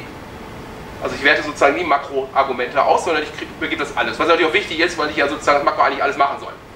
Damit so, das heißt aber, das nützt mir jetzt alles gar nichts. Aber was ich machen kann, und da sieht man auch, dass ich kann ähm, einfach natürlich sagen, ich kann dem Compile-Pattern einfach sagen, was er machen soll, wenn er fertig ist mit dem. Also ich übergebe dem Compile-Pattern einfach noch einen weiteren Parameter, nämlich k. Punkt, Punkt, Punkt. Was auch immer k. Punkt, Punkt, ist, ganz egal, er soll einfach äh, AUX aufrufen mit k. Punkt, Punkt, Punkt und gib als letztes dem ganzen Ding noch dieses Argument. So, und jetzt ähm, muss ich natürlich das hier auch ändern, was ich hier gemacht habe, weil das jetzt natürlich nicht mehr stimmt.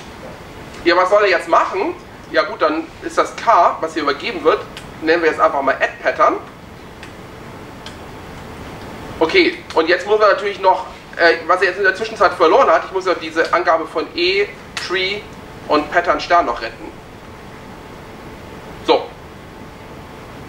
Und was soll jetzt dieses Add Pattern machen? Okay, was bekommt Add Pattern? Bekommt dieses E, Tree, Pattern Stern und, äh, achso, das Clause sollte ich auch noch retten hier.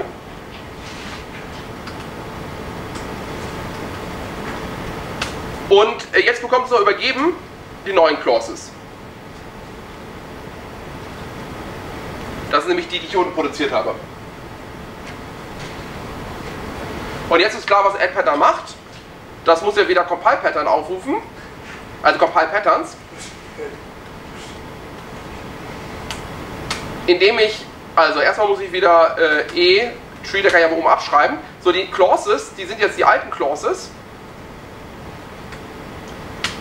Ja, und dann kommen die New Clauses dazu. Äh, genau, so, also das muss ja bei oben entsprechend dann. So, dann kommen die New Clauses dazu. Und ähm, äh, ansonsten muss ich mein Pattern da, also es muss hier wieder in die Form von dem Compile-Pattern kommen, es steht einfach Pattern Stern da. Und jetzt sehen wir nach diesen Schritten haben wir das ganze Problem reduziert. Nämlich, äh, jetzt steht eine, haben wir mehrere Clauses hier mehr und ein weniger bei Pattern Stern. Okay, das hoffe ich dann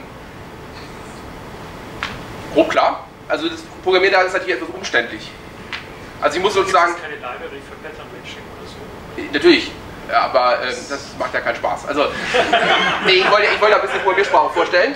Ja, Ähm, und äh, wie gesagt, also ich will damit auch sagen, dass ähm, wenn ich jetzt, äh, wenn mir irgendwas da nicht gefällt an dem System oder etwas fehlt, als zum Beispiel statische Typisierung, dann programmiere ich sie halt. Ist halt entsprechend aufwendig. Wenn ich kein Compiler programmiere ich Genau. Ähm, die Idee ist natürlich jetzt, also jetzt kommen natürlich ein paar andere Sachen noch dazu, dass ich irgendwann ein Makro definiere, was mir solche Makros ausspuckt. Weil das ist auch, das ist auch der Pattern Matcher, den es für Scheme gibt. Das ist nämlich auch einfach nur ein Makro, was diese Makros auswirft. ist denn das ein optimierender Pattern Compiler? Das könnte man auch machen. Also es ist sozusagen ein an- anderes Projekt, was ich hier vielleicht irgendwann mal vorstellen wollte, wäre, ähm, also ich habe hab Makros geschrieben, was Ausdrücke, die ganz normal geschrieben sind, also die aussehen wie Scheme, übersetzt in diesen Continuation Parsing Style und dann das ausspuckt. Also ich meine, das ist ja sozusagen nicht die mechanische Trans Transformation, die ich hier gerade im Kopf gemacht habe. Ähm, und genau, das ist sozusagen der Beweis auch, dass es sozusagen Turing vollständig ist. Also, also als Makro geschrieben und Compiler, der, der ein halbwegs vernünftiges Programm übersetzt als Makro. Ja? Eine Frage noch, die ist vielleicht ein bisschen doof, aber mich wundert gerade dieses Beginn-Word. Das ist ja eigentlich ein festes Schlüsselwort. Ja. Muss man das nicht noch irgendwie Escape oder Single Quote von dem machen oder so? Nein, ähm, also ähm, äh, danke für die Frage. Aber ähm, also hier bei dem Beginn muss ich jetzt nichts machen, weil also ich, ich kann Ihnen hier alles hinschreiben. Äh, das Makro spuckt das einfach aus. Das Einzige ist nur, wenn ich jetzt, äh, wenn Expression Stern jetzt schon Schlüsselwort wäre, dann würde er das natürlich ersetzen durch die Variable, die da oben steht.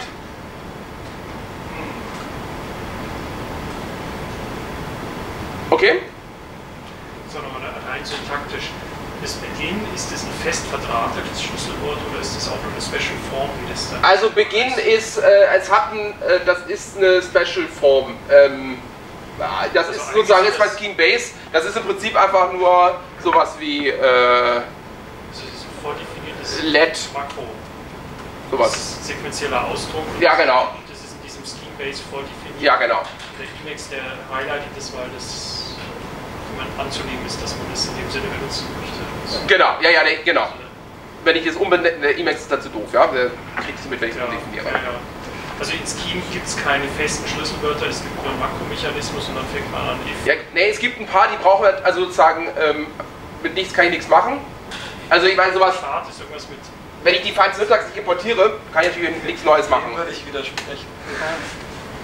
Also was sind die Nichts kann ich nichts machen. Das ist die einzige, einzige richtige Reaktion, weil ich definiere Beginn, um es eigentlich, dass eine Hand aus dem Laptop fährt und der so eine runterhaut. Ja, Es gibt Dinge, die soll man einfach nicht machen. Ähm,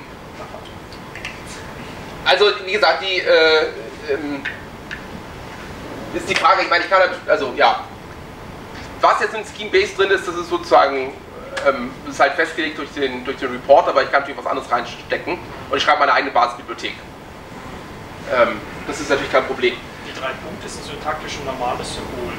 Also, genau, es ist vielleicht nochmal das, also, äh, die Punkte, die werden auch exportiert von Scheme, Base und die drei Punkte, die kennt die Fine Syntax und immer wenn drei Punkte hier auftauchen, heißt es das, was man, was man offensichtlich darunter vorstellt.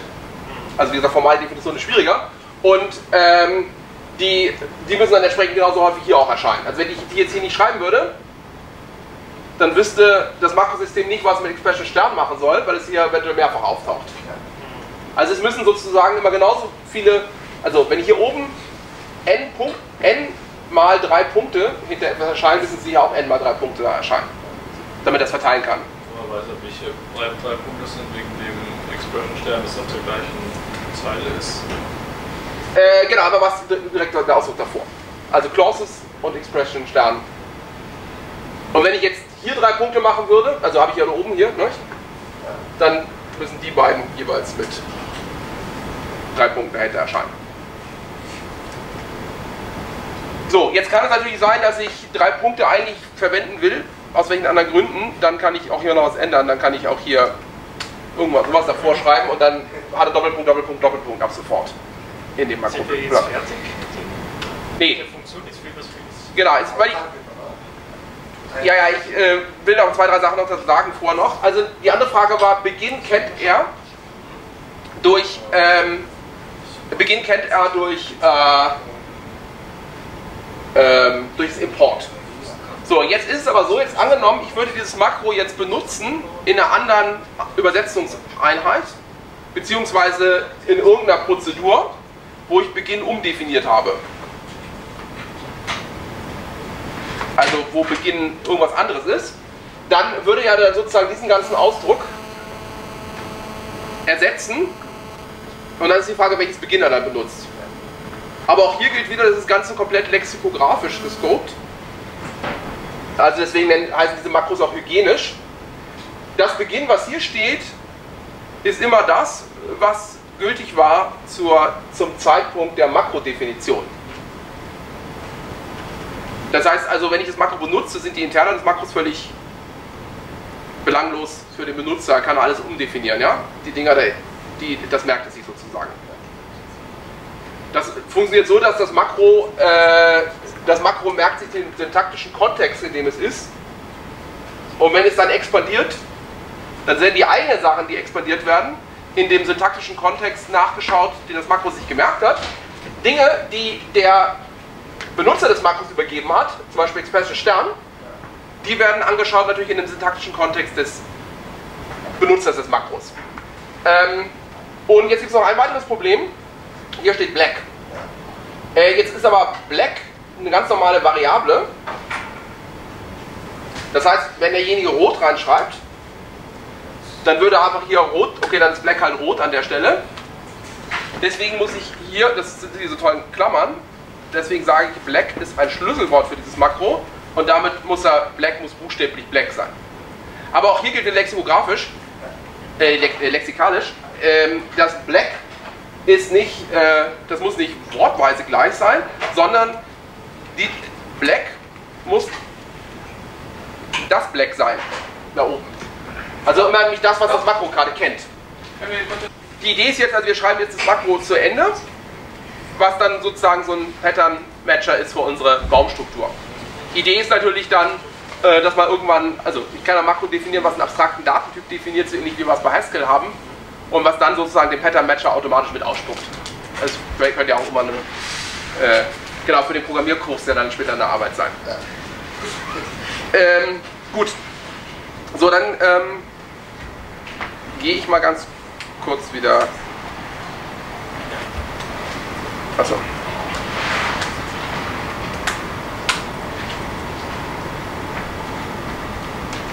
So, das ist, das ist der Artikel, von dem. Ja, ist jetzt wieder nicht so. noch ein bisschen Hintergrundwissen zu geben, was vielleicht ein paar Leute helfen. Ja? Alle, die bei Professor Hagenhoff hier in Augsburg die Algorithmen und Datenstrukturen haben, da gibt es ja die AB-Bäume. Und die Rot-Schwarz-Bäume sind ein Spezialfallmodell. Vielleicht ist das wenig komplexes Damage. Okay.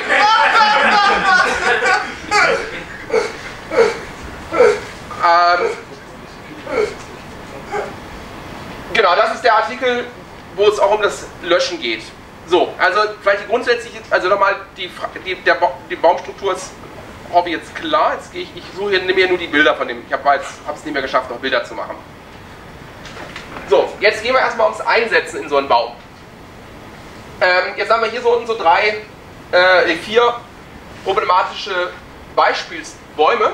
Und zwar ähm, war vorher, war dieses Ding nicht da.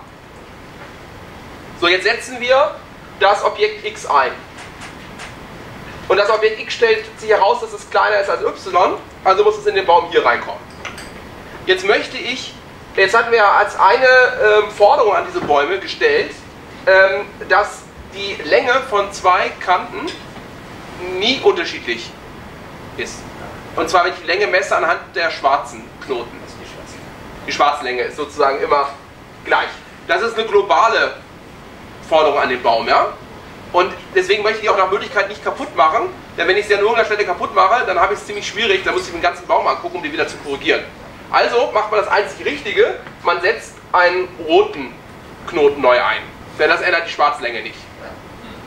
So, das kann aber, wenn der Knoten zufälligerweise auch rot war, was in diesen drei, diesen vier Fällen der Fall ist, dann habe ich ein Problem. Ähm, also wenn er schwarz gewesen wäre, jetzt kein Problem, weil ich ja nicht zwei rote hintereinander haben darf. Das ist aber jetzt ein lokales Problem. Und deswegen, und das lokale Problem kann ich jetzt beheben, indem ich diesen Baum einfach umsortiere. Und alle diese drei Bäume, äh, vier Bäume, kann ich verwandeln in diesen da. Also, die sind genauso angeordnet wie vor, nicht? X kommt vor Y, kommt vor Z. Und das gilt bei diesen drei Bäumen auch. Ist das Rotation? Ja, genau. Ja, also genau, ich gebe den hier unten, den ziehe ich hoch. Also das heißt hier balancieren, aber bei Rotieren auch noch kommt, aber das ist sozusagen eher Frage, wie man es nennen will. Ähm, genau, die, also hier unten, also hier, das können natürlich jetzt Blätter sein, was es wäre, wenn ich x neu angebaut habe, aber der Algorithmus läuft dann iterativ ab. Ähm, das heißt, äh, das können auch noch ganze Bäume sein. Jedenfalls habe ich das Ganze so umgesetzt.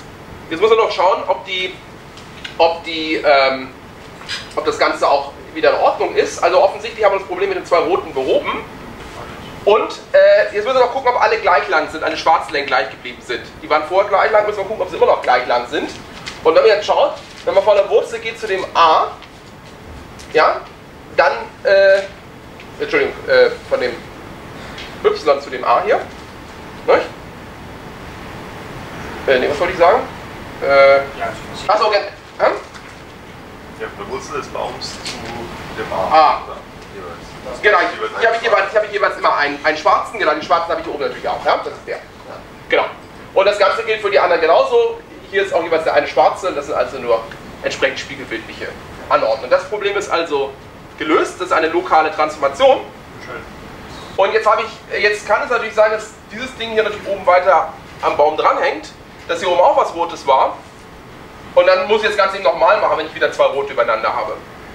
So, wenn ich meinen Pattern Match jetzt noch ein bisschen ausbaue, der nicht nur, also der sozusagen äh, genau, hierarchische Strukturen erkennt, das, ähm, dann ähm, ist es natürlich ganz einfach, weil dann kann ich immer sagen, wenn ich solche Bäume drin habe, dann balanciere ich die. So, das heißt also, was ist die Idee, wie füge ich etwas ein in den Baum? Ich nehme jetzt das x, was ich einfügen will, laufe den Baum runter, suche, wo das x hin muss und dann kommt es irgendwann anstelle eines Blattes neu rein. Ich färbe es automatisch rot, damit ich den Fehler nicht mache mit den unterschiedlichen Schwarzlängen. Und dann muss ich von dort aus hochgehen, solange ich immer noch zwei rote hintereinander habe. Jetzt kann man sich fragen, wie lange dauert das? Naja, ähm, suchen dauert log n und hochgehen dauert auch log n, weil ich ja immer nur immer jeweils eine Ebene höher in dem Baum. Das heißt, ich habe O von log n einsetzen. Und das Ganze kann ich natürlich, habe ich, ähm, also das ist sozusagen komplett funktional, weil ich äh, nichts, also ich ändere ja sozusagen lokal die Bäume immer nur ab. Das heißt, äh, es ist so eine persistente Datenstruktur, deswegen habe ich es auch Immutable Maps genannt. Ähm, und äh, ja, das heißt, ich, ich produziere maximal log n, O, o von log n Knoten irgendwie neu. Also den gesamten Weg, den ich bis nach oben gehe, ja? Wenn ich das Ganze in C implementieren wollte, wäre es sozusagen haariger, weil ich dann mir merken muss, äh, also da muss ich ja irgendwann bei der Speicherverwaltung ähm, mir einiges merken, ja? Das ist sozusagen eine Sprache, die Garbage Collection hat, wesentlich einfacher. Okay, gut, also das ist. Ja. Hm? Sagst du noch mal, was das funktionale, funktionale Datenstrukturen bedeutet? Das bedeutet, dass wenn ich, ähm, also ich habe eine, habe eine Abbildung, eine IMAP, und jetzt nehme ich die und äh, füge da ein Element hinzu oder lösche eins, dass wenn ich, dann kriege ich eine neue, aber dass wenn, wenn ich weiter noch eine Variable habe, die meine alte beinhaltet, also meine alte, äh, auf meine alte gesetzt ist, dass ich dort nicht sehe, was ich gemacht habe. Aha. Was eigentlich Also- normal Dass man nicht im, dass man Ja. in Place irgendwie rumläuft. Ja, genau. Also wenn ich jetzt, äh, eine nicht Alle- Datenstruktur. genau, also angenommen ich, angenommen, ich möchte zum Beispiel Scheme, einen Scheme-Compiler implementieren. Dann, ich, dann muss ich mir ja merken, äh, da brauche ich ja irgendwie mein syntaktische, meine syntaktische Umgebung an jeder Stelle. Das heißt, ich habe immer an jeder Stelle im Programm bedeutet x bedeutet das, y bedeutet das, z bedeutet das. Ähm, wenn ich jetzt neue Sachen deklariere mit define, dann kommen die einfach dazu. Das ist kein Problem, das kann ich auch sozusagen überschreiben, also das kann ich auch destruktiv machen, weil die sozusagen sowieso global gelten, die, die Defines. So, aber sobald ich ein Let habe, muss ich ja meine Datenstruktur, die muss ich wieder, wieder zurücksetzen, wenn ich mein Let verlasse. Und eine Möglichkeit ist natürlich zu sagen, okay, ich nehme, eine destruktive Datenstruktur, da kommen dauernd neu, neu, die Variablen überschreibe ich und dann muss ich am Ende aber das Ganze wieder rückgängig machen, wenn ich mein Let verlasse. Also man Das kann sich das auch so vorstellen, man, wenn man 17 plus 1 rechnen möchte, kriegt man eine frische 18 und dann wird die 17 nicht zerstört, Ja, ja, genau. eine 18 umgerüstet. Äh, genau, aber wie gesagt, es wäre auch sozusagen mit dem Zerstören auch kein Problem, wenn ich jetzt zum Beispiel so eine Programmiersprache wie äh, Java oder so etwas ja, äh, kompilieren wollte. Wie gesagt, die haben, haben zwar auch lokale. Die Frage ist, ob man es nachher noch braucht. Im Normalfall Nee. Ja, ich kann ja. ein Jahr verwendet, dann kann man es wegwerfen. Genau, aber ich, bei diesem Makrosystem, darauf wollte ich hinaus, da merkt das Makro sicher die, äh, seinen eigenen syntaktischen Kontext. Das heißt, das wenn ich das Makro in einem Let benutze, braucht, es ein, braucht das Makro noch den alten syntaktischen Kontext. Den darf ich nicht überschreiben. Und deswegen ist natürlich da zum Beispiel, um zum Beispiel einen Scheme-Compiler zu schreiben, so eine funktionale, nicht destruktive Symboltabelle genau das Richtige. Deswegen ähm, bin ich ursprünglich mal drauf gekommen, das anzugucken. So, okay, also das ist jetzt, das ist im Prinzip der äh, Algorithmus von dem Okazaki. Also ich meine, das ist auch sozusagen eigentlich, wenn man sozusagen die Implementation in C sieht, destruktiv, dann sieht die ganz ähnlich aus, wobei man das dann imperativ noch verbessern kann. Also da muss man sich, guckt man sich noch, noch irgendwelche Nachbarn hier an, kriegt dann insgesamt acht Fälle, aber grundsätzlich funktioniert es genauso. Ähm, weil man dann also noch weniger Änderungen braucht. Also das ist sozusagen, okay. Und wie geht es jetzt? Jetzt ist das Problem mit dem Löschen. Und das ist sozusagen das, das Neue. So, also löschen. Wie gehen wir da vor? Ja, eine Frage? Wann tritt jetzt der Fall ein, dass die Schwarzlinie sich um 1 erhöht? Bei hinzufügen. Nee, ja, hier haben wir ja. Äh, Nee, da war es. Gibt's hier eins. ach so, Entschuldigung, ja. Ähm, was ich, genau. Ähm, was man am Ende immer macht, also das Problem ist, irgendwann kann es passieren, dass ich an der Spitze rot, rot habe. Und dann kann ich aber nichts mehr machen, weil ich dann nicht weiter hoch rauskomme. Und was ich jetzt machen kann, ich kann die Wurzel, kann ich immer am Ende schwarz färben. Weil die, äh, dann, erhöhe ich die Schwarzlänge um eins, aber für alle Wege gleichzeitig. Danke für die Frage, das fehlte nämlich noch sozusagen, also ganz am Ende schwert sich die Wurzel fertig. Also dein Großschwarzbaum hat immer schwarze Wurzeln. Momentan. Also aber prinzipiell, genau, aber sozusagen, also so, da wie der Algorithmus funktioniert, hat es immer schwarze Wurzeln. Allem dann, wenn ich einfach die Wurzel schwarz mache, dann muss ich mich ja wieder um die anderen kümmern. Dann habe ich ja wieder Arbeit. Nee, muss ich nicht. Schwarze dürfen hintereinander stecken. Ach ja, ja, stimmt. Ja. Genau, deswegen also sozusagen das Problem, also wenn ich die letzten beiden rot sind, färbe ich die Wurzel schwarz mit fertig. Ja, also äh, genau, weil ich, wie gesagt, ich brauche hier oben diese schwarze, um diesen Algorithmus machen zu können. Ne? Äh, danke, genau, das war sozusagen ein wichtiger Punkt, der noch fehlte. Ähm, so, jetzt löschen wir. Also, wie löschen wir? Na, wenn wir was Leeres haben, kommt das Leere raus. Der Algorithmus ist einfach. Äh, das entspricht beim Einsetzen, wenn ich etwas einsetze, was schon da ist. Da passiert auch nichts. Also das ist sozusagen ein bisschen dual zum Einsetzen. Also das, der Punkt steht für einen leeren Baum oder Ja, ja, das ist der leere Baum. Also nichts. Dazu nichts. So, wenn ich jetzt ähm, hier so etwas Rotes habe, dann wird es auch zu nichts. Also wenn ich jetzt gerade, der Punkt ist, ich will das V löschen. Und wenn ich jetzt hier das V löschen will, dann kann ich das auch machen, indem ich einfach natürlich das V ersetze durch das X. Und die, ähm, meine, da das hier jetzt hier oben schwarz ist, ist es völlig in Ordnung. Also es gibt ke- gibt keine Verletzung von Rot-Rot. Und die Fahrtlänge ist auch wieder erhalten, weil ich halt immer alles auf dieses Schwarze durchgehen muss. Was? Ja, da kommen wir gleich dazu noch zu den Problemen. Also noch ist es sozusagen einfach das Löschen, ja? So, ähm, die Frage ist jetzt, Das war jetzt gerade Blätter. Hä? Also, Das waren jetzt gerade nur Blätter.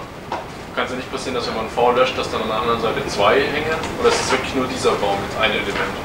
nee, also wenn jetzt, ähm, Das ist jetzt nur der Baum mit einem Element, oder? Ja, ja, ja genau, wenn, nee, nee, wenn jetzt hier noch was dranhängt, Ja. Äh, ach so, ja, äh, genau, also ja, ja, danke. Also der Punkt, wenn ich natürlich jetzt irgendwas, wenn ich jetzt kein Blatt lösche, was mache ich dann? Ja, dann gucke ich sozusagen, welchen, welchen Nachfolger habe ich da. Dann setze ich den, den ersten Nachfolgerbaum rein, wo er hin soll und lösche dann den, den alten Nachfolger. Ja, also wenn ich habe 1, 3, 5, 7 und ich will die 3 löschen, dann schreibe ich die 5 hin, wo die 3 ist, das ist soweit in Ordnung. Und dann muss ich aber diesen alten Knoten 5 löschen. ja. Ja, also es ist sozusagen, also es, ich, ich, kann, ich mu- muss sozusagen, ich komme sozusagen immer in die, äh, in die, in die Blätter, ja? So, das heißt, wenn ich dieses Löschen mache, dann lande ich, dann lande ich da, das ist auch in Ordnung. Jetzt gibt es aber ein Problem, nämlich wenn ich den schwarzen lösche. Wenn ich dieses V lösche, dann erniedrigt sich die Länge um 1. Das war bei dem roten kein Problem, weil das rote zur Le- Schwarzlänge nicht beiträgt.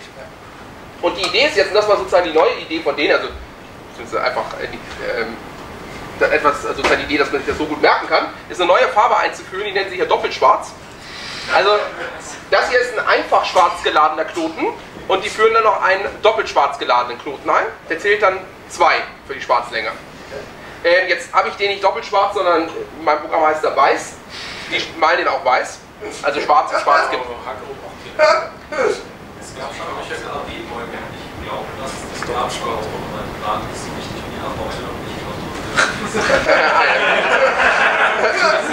Aber es muss doch noch immer noch balanciert sein im Sinne von äh, maximal zwei. Das ist sogar. Rot, ja, ja, aber das ist momentan beim Löschen gab es noch kein Problem, ja? Wenn das nur ein Element ist, klar, aber wenn es jetzt irgendwie so ist, dass dieses Element. Wenn ich, wenn ich einen roten Rausch lösche, ist auch noch egal. Ja, aber das ist. Müssen nur die schwarzen genau balanciert sind. Genau. Also es, gibt auch nicht die Regel, dass irgendwie immer nur zwei. Das können beliebig viele rote noch balancieren. Ja, aber, die, aber es dürfen nicht zwei rote nebeneinander kommen. Das heißt, es können, muss immer mindestens ein schwarzer dazwischen sein. Das heißt, die maximale Länge kriege ich so, so eine Art Reißverschluss. Ja, abwechselnd. Das heißt, die, dadurch hat man diese Sache, die Eigenschaft schon garantiert. Ja, genau. Genau. Und die Frage ist, wie man es schwarz löscht. Und die Idee ist, man fügt eine Farbe doppelschwarz ein, also weiß.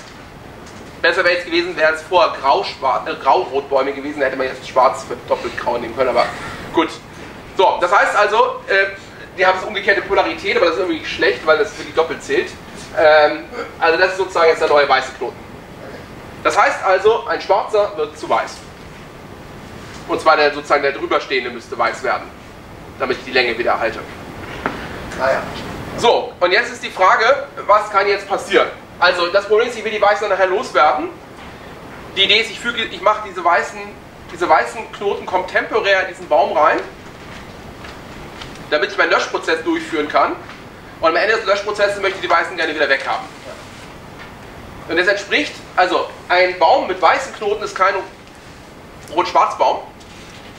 Aber beim Einfügen gibt es auch Bäume, die keine Rot-Schwarz-Bäume sind. Nämlich, wenn, zu, zu gewissen Zeiten sind nämlich zwei rote übereinander. In dem Sinne ist das hier genauso. Äh, ich habe hier sozusagen so, so einen fast rot-schwarz-Baum mit einem weißen Knoten da drin. So, und die Frage ist jetzt, was machen wir jetzt? Also, was bedeutet das jetzt? Durchs Löschen ist jetzt hier ein weißer entstanden, ja? Weil ich jetzt hier zum Beispiel schwarzen rausgenommen habe. Das bedeutet, dass auf dieser Weg hier, hier, hier zählt es 2 und hier zählt es 1. Das heißt, hier unten müssen irgendwo noch mindestens mal schwarze hängen, die jetzt hier parallel nicht dazu hängen. Nein, Das ist durchs Löschen entstanden. Und dann habe ich, gut, in dem Fall kann es noch geben und diesen Fall. Also das ist sozusagen. Hm? So, jetzt überlegen, was wir damit machen können. Ähm, also, diesen hier, den können wir jetzt so auflösen. Also wir machen, das, das nennt ihr jetzt Rotation, aber das ist jetzt auch eine Geschmacksfrage, wie man es nennen möchte. Was der jetzt also, äh, also an der Anordnung ist beim Baum jetzt hier nichts passiert. Äh, der Weiß ist offensichtlich weg auf der Seite. Jetzt müssen wir noch sehen, ob das passt. Ja? Zu A, B runter gehe ich über zwei schwarze. Nach D und C runter gehe ich über einen schwarzen. Genau das, was sein soll. Und es hängen auch keine zwei roten aneinander. Das heißt, diese lokale Transformation entlädt das Weiße, das doppelt schwarz und verteilt es. Ja. Wieso können nicht zwei rote übereinander hängen danach, wenn das C an der Wurzel rot ist? Wenn, achso, Entschuldigung, ja, das, äh, genau. Ähm, äh, hier kann natürlich was passieren, aber ich habe ja auch noch das alte Balancieren. Das heißt, ich muss natürlich klar, äh, wenn ich diesen Baum erzeugt habe, muss ich hier wieder anfangen zu korrigieren. Genau. Okay, dann haben wir das. Dann haben wir den Fall, äh, also hier vielleicht, vielleicht nochmal ganz kurz. Das ist Racket, das ist sozusagen äh, äh, Scheme mit Batteries included. Das war das, was ich am Anfang meinte. Da gibt es dieses Pattern Matching schon und das ist BB, ist dein weißer, ja, Black Black. Und das ist genau das, was er jetzt hier macht. Ja. Also, wenn ich, nur, wenn ich einen roten Baum habe, wo hier ein schwarz, also ein weißer Baum dran hängt und hier hängt ein schwarzer, dann, ähm, dann balanciere und das ist genau das, was da steht. Ja? Was heißt das Strich? A minus B. Minus B heißt, äh, ich mache aus äh, schwarz, schwarz, schwarz. Das ist aber nur eine Funktion, die aber die Farbe auch schwarz, äh, also, ja, das so genannt. Richtig, genau. Ähm, Also eigentlich B minus minus, wenn man. genau, aber wie gesagt, der Vorteil ist, äh, der, man kann die Sache halt beliebig nennen. Ähm, genau. Äh, also er, der muss das Makrosystem, also muss halt diesen Matcher nicht programmieren. So. Jetzt haben wir diesen Fall, ne? ich weiß, schwarz, schwarz. Dann, gut, also ich meine, wenn man sozusagen weiß, was rauskommt, kann man überprüfen, ob es passt. Ja? Und äh, da sehen wir auch wieder, also erstmal das Problem, es können wieder zwei rote geben. Äh, und die Längen sind jeweils alle gleich. Nicht nach AB ist die Länge 3 und nach äh, CD ist die Länge 2. Und das weiße Problem ist nach oben gegangen. Das heißt, ich muss jetzt zwei Sachen machen. Ich muss das hier korrigieren und ich muss hier was machen. Das weiße. Okay. Was wäre, wenn Weiß an ganz oben an der Wurzel ist? kommt noch? Äh, genau. Ähm,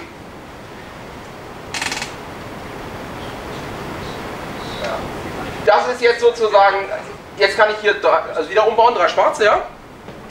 Und ähm, jetzt haben wir noch den letzten Fall. Und jetzt kann man, also es steht hier hopeless, also wenn man jetzt hier versucht, dieses Problem zu lösen, dann kommt man da auf keinen grünen Zweig. Aber was man sich überlegen kann, ist ja.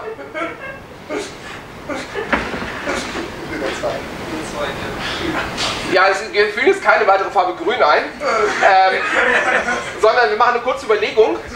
Hier, äh, hier muss noch was dranhängen, weil äh, es hier, auf alle Fälle länger runter geht. Das heißt, hier ist der Weg ja 3, hier ist der Weg nur 1. Das heißt, hier muss auf alle Fälle was dranhängen und es kann nicht rot dranhängen, also muss hier schwarz dranhängen. Ich meine, weiß kann auch nicht dranhängen, weil ich ja nur an einer Stelle gelöscht habe und ich habe immer nur maximal einen weißen. So, das heißt also, das Ding sieht in Wirklichkeit so aus. Und jetzt habe ich mehr Freiraum und jetzt kann ich das ganze Ding dahin umbauen. Und das sind die Transformationen, die man braucht. So, jetzt ist die Frage, was ist mit Weiß ganz oben? Und da haben wir jetzt wieder eine Art Dualität zwischen, zwischen Löschen und Einfügen. Ähm, wenn, ich, äh, wenn ich einfüge, dann füge ich ein und am Ende färbe ich die, wenn es möglich ist, färbe ich dann die äh, Wurzel schwarz. Und wenn es nötig ist, ja? Wenn es nötig ist. Und was ich jetzt hier mache ist, hier färbe ich, bevor ich lösche, die Wurzel rot. Ähm, wenn ich es kann. So, warum? Also, wenn ich die Wurzel rot färbe, also wann kann ich die Wurzel nur rot färben? Na, wenn die alte Wurzel nicht keine roten Kinder hat. Das heißt also, nur in dem Fall. Dann äh, habe ich auf alle Fälle eine rote Wurzel. Moment. Da habe ich auf alle Fälle irgendwie so eine rote Wurzel. Und wenn da jetzt was Weißes ankommt, dann äh, ist das Weiße weg. Ja, dann habe ich, das, hab ich das Problem mit dem Weiß gelöst. Und wenn, die Wurzel, wenn ich die Wurzel nicht rot färben kann, am Anfang, dann liegt das nur daran, dass sie mindestens ein rotes Kind noch hat. Das heißt, da muss ich mir jetzt noch Fälle angucken, ähm, wie äh, irgendwo muss jetzt hier schwarz, rot, weiß oder sowas. Da. Dann muss das so ausgesehen haben, ja? Also, die kann ich nicht rot färben, weil sie ein rotes Kind hat. Und wenn hier was Weißes vorbeikommt, dann das Problem habe ich aber auch gelöst. Und das Weiße war weg. Das heißt also, deswegen war, hatte ich vorhin gerade gesagt, äh, die Wurzel ist immer schwarz, ist auch Jein. Also beim Löschen färbe ich sie erst rot, wenn ich kann. Und dann ziehe ich meinen Löschvorgang durch. Ähm, und damit habe ich äh, sozusagen, ähm, genau, damit ist das komplette Löschen hinter sich gebracht. Genau, so. Und äh, damit sind wir auch hier, das, was das betrifft, fertig. Dann gucken wir uns jetzt noch das ähm, fertige oh, äh, Programm an. Ähm, Achso, Quatsch, natürlich. Ähm, ja, äh, ich, äh, ich, ähm, äh, ja, so. Ähm,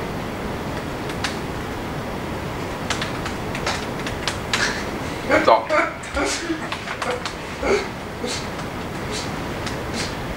Okay, so. Äh,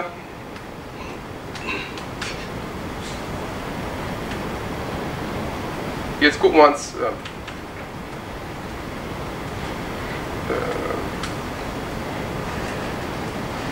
das Ganze nochmal an. Also äh, so viel ist jetzt hier nicht passiert, was wir jetzt gerade äh, in Nullzeit geschrieben haben. Ähm, also jetzt schwarz und jetzt ist weiß dazugekommen, ja? Brauchen wir ja noch. Und ähm, hier teste ich jetzt, ob was weiß oder schwarz ist. Und mein Tree Match ist auch geblieben. Jetzt habe ich hier ein neues Syntax eingeführt, Fragezeichen, werden wir gleich sehen. Also, und zwar, warum habe ich das gemacht? Na, ich will, äh, will nachher noch Fragezeichen als Syntax verwenden. Das steht hier. Jetzt gibt es im Scheme aber kein, kein vorgefertigtes äh, Objekt, was Fragezeichen heißt. Deswegen habe ich jetzt einfach ein Objekt Fragezeichen genannt, nämlich einfach ein Syntax, einfach ein Makro, was aber einfach nur einen Fehler ausspuckt, wenn man es benutzt. Aber der Punkt ist der jetzt, jetzt ist Fragezeichen sozusagen nicht einfach nur noch ein Name, sondern Fragezeichen hat einen Wert, also einen taktischen Wert. Und damit kann ich jetzt Fragezeichen sozusagen benutzen. Ansonsten würde ich sozusagen, ansonsten habe ich das alte Problem, dann kann ich zwar mit Fragezeichen matchen, aber sobald jemand anders das Fragezeichen irgendwie belegt, kommt er dann nicht mehr zurück, weil es nicht mehr unbelegen kann und damit kann er es dann nicht mehr mein Makro benutzen. So, ähm, im Prinzip geht das Ganze jetzt durch, was wir jetzt hier gemacht haben. Ähm, also, Red-Fragezeichen soll zum Beispiel testen, ob der Baum rot ist und außerdem den Baum an der Stelle noch in der Variable x dann zurückliefern. Und deswegen setzt er dann Tree auf x und so weiter und so fort. Also hier sieht man, und hier testet er ein gewisses Prädikat ab, das ist sozusagen mein, mein weiteres Ding. So, also das ist ein bisschen, also Fleißarbeit, das Ganze zu schreiben. Da habe ich jetzt hier noch geschrieben, um Baum schwarz zu machen. Nicht? Wenn er, hier sieht man, wie der Pattern Matcher funktioniert. Wenn er rot war, dann mache ich ihn schwarz. Und Baum mache ich sonst zum Baum. Und hier mache ich ihn rot, redden. Äh, das geht natürlich nur dann, wenn, äh, wenn er vorher schon schwarz war. Sonst kann ich da auch nichts machen mit schwarzen Kindern. Ähm, Und das haben wir schon gesehen. So, hinzufügen, wie funktioniert das? Na, auch hier wieder, ich mache einen Baum. Also ich packe das Ganze nachher wieder in den, äh, nicht in den Baum, ich packe das Ganze wieder in eine IMAP, indem ich schwärze, was hier rauskommt. Und schwärzen heißt, also äh, rauskommen heißt, ich muss wieder was hinzufügen in diesen Baum. Und dann gucke ich wieder an, okay, wenn es was Schwarzes ist, also wenn es, wenn, wenn es ein schwarzer, schwarzes Blatt ist, dann kann, mache ich es einfach rot und baue das ein, wie wir vorhin besprochen haben am Algorithmus. Und ansonsten muss ich gucken, ob ich links oder rechts einbaue und muss, dann, muss den Baum mal wieder balancieren. Okay, aber das ist sozusagen, mit dem Makro sieht es jetzt auch nicht anders aus als Haskell mit einer anderen Syntax. Ähm, okay, und löschen geht, ähm, geht genauso. Also sieht auch nicht groß anders aus, ja. Außer dass ich jetzt ein paar mehr Fälle habe. Und ähm, hier diese neue Prozedur ist, ist Rotieren, die mir die weißen Knoten äh, korrigiert. Und hier ist vielleicht noch eine interessante Sache, jetzt steht hier nicht let, sondern let values. Das hat Scheme auch, nämlich mehrfache Rückgabewerte. Also eine Funktion kann, kann mehrere Sachen reinstecken und äh, normalerweise kommt ein Wert raus, aber es kann auch 0 bis n Werte rauskommen. Und ähm, min plus delete macht folgendes, sie löscht den Knoten, den kleinsten Knoten in dem Baum B. Das ist nämlich, also bei meinem Beispiel 1, 3, 5, 7 war es die 5. Ja. Und äh, liefert mir aber gleichzeitig auch zurück, welchen es gelöscht hat. Das heißt, liefert mir den Baum B zurück, den er gelöscht hat. Ah, destruktiv oder non-destruktiv? Der Baum ist auch da, der fehlt. Ja, ja, das ist ein neuer Baum. Ah, das wird wirklich weiter. Der, nee, der, Der alte ist dann weg. der, der alte ist dann natürlich hier. Ja, genau, also dieses, das alte B ist weg, aber es liegt daran, dass ich es auch B genannt habe. Wenn ich das B Stern nenne, dann habe ich das B natürlich noch. Ja, also genau. Also in diesem Fall würde der Garbage Collector das B dann rauswerfen, aber weil ich keine Handhabe mehr habe da, ne? Seite. Ähm, genau, liefert dann eben zwei Werte zurück und das ähm, mit Let Values weise ich die zu und Values ist die Prozedur, die zwei Werte rausspuckt. Genau. Das ist vielleicht noch so eine, äh, das sozusagen auch nicht bei jeder Programmiersprache dabei ist. Ähm, genau, das ist B- halt bei mir white nach black. Das ist das Ding da. Und balancieren, das waren im Prinzip einfach nur die Fälle aufgeschrieben, die wir jetzt hatten. Und rotieren genauso. Und damit sind wir, was das betrifft, durch. Dann ähm, können wir das Ganze noch testen. Und jetzt laufen die fünf. Irgendwo ein, irgendwo ein Tippfehler gemacht. Und der Tippchecker kann ja nicht sagen, was ein Tippchecker. Also irgendwo da oben Tipp, Tippfehler gemacht. Ja, dann meldet er halt einen Fehler. Ja, der Test, die Tests fehlt dann Fehler. Oder Naja, also wenn ich jetzt hier zum Beispiel jetzt, äh, wenn man jetzt da ein Y reinsetzt oder Ja. X. warum ist das, achso, habe ich das andere noch offen? Achso.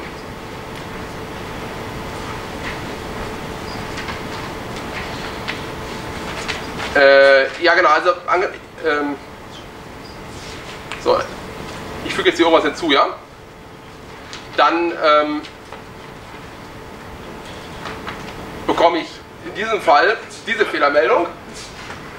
Ja, äh, Non-Symbol Parameter, bla bla bla bla, das ist äh, okay. Ähm, das liegt jetzt daran, dass er bei der Makroexpansion das jetzt nicht machen kann. Weil ich ja sozusagen, also das White Fragezeichen, da, dieses Pattern gab es nicht.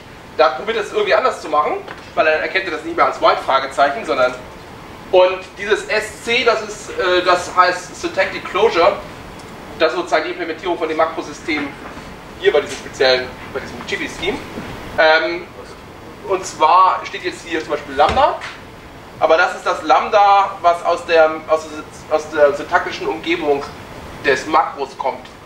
Was, was in diesem Fall auch das Standard-Lambda ist, aber wie gesagt, wenn ich Lambda umdefiniere außerhalb, dann muss man auch wissen, was es ist. Deswegen kommt das Ganze. Chili war das, was empfohlen hast, was erst seit zwei Wochen schweigest, oder? Nee, das ist She-Scheme. SCH. Äh, äh, S-C-H-E-Z. Äh, äh, äh, C-H-E-Z. So. Fans. Ja, jetzt. Ähm, genau, also, also das Problem, äh, wie kann ich das beheben? Na gut, ich schreibe ich mach- schreib mein Makro etwas besser, was nämlich dann Syntax-Errors liefert. An der richtigen Stelle. Was hab ich ich habe sozusagen einfach das Ganze nur runtergeschrieben in dem Bewusstsein, dass ihr jetzt richtig macht. Ähm, ansonsten, äh, wenn ich natürlich äh, wenn ich natürlich hier anfange, falsche Bäume reinzustecken, dann, ähm, also sozusagen meine Invarianten einfach verletze, da habe ich natürlich kein Typsystem, was mich davor bewahrt. Das müsste ich dann wieder anfangen zu ähm, programmieren. Aber gut, das ist aber sozusagen, ich meine, das ist immer das bei einer, bei einer dynamischen Programmiersprache. Ähm, genau. Vielleicht noch eine letzte Sache, genau, also wo ist das Ganze zu äh, ähm, zu finden. Das ist auf äh, GitLab. Weil äh, die, die FSF hat ja jetzt gesagt, dass man GitLab benutzen soll, nicht GitHub, wenn man nicht gerade New Savannah benutzen möchte. Und äh, genau, also daran sollte man sich ja halten als guter Weltbürger. Ha? Nicht selber gehostet jetzt, sondern. Nein, das ist nicht, genau, aber das ist ja sozusagen ein Quellcode haben wir trotzdem. Das ist okay, also laut FSF lernt man das auch, wenn es woanders groß ist. Nee, nee, es, ging ja, es geht nur darum, dass sozusagen es keinen Sinn macht, äh, äh, zu versuchen, freie Software auf dem Computer nur zu benutzen, wenn man, wenn auf allen Webpages, die man Ja. sich anschaut, nicht frei läuft. Und die sagen, also ich meine, das Ding ist auch nicht schlechter als, als GitHub, deswegen auch mein Aufruf äh, sozusagen, Zu Hause. genau, ja, ja, genau, kollek- kollektiv zu wechseln. Und äh, genau, also sozusagen mein erstes Projekt ist da. Ist es übrigens, ich habe nie getestet, dass meine Bäume, die am Endeffekt rauskommen, auch wirklich alle balanciert sind. Ja? Also einfügen und löschen funktioniert, aber ich habe nie, äh, bisher fehlen die Checks zu sehen, ob die Bäume auch wirklich alle die korrekte Länge haben. Weiß ich. Ja, kannst du, genau. Das Äh, genau. Okay, ähm, das war's dann soweit von meiner Seite aus. Ähm, ja, also vielleicht irgendwann kann ich vielleicht noch mal erzählen, wie man sozusagen die Makros sinnvoller programmiert als so zum, zum Fuß. Genau. Und äh.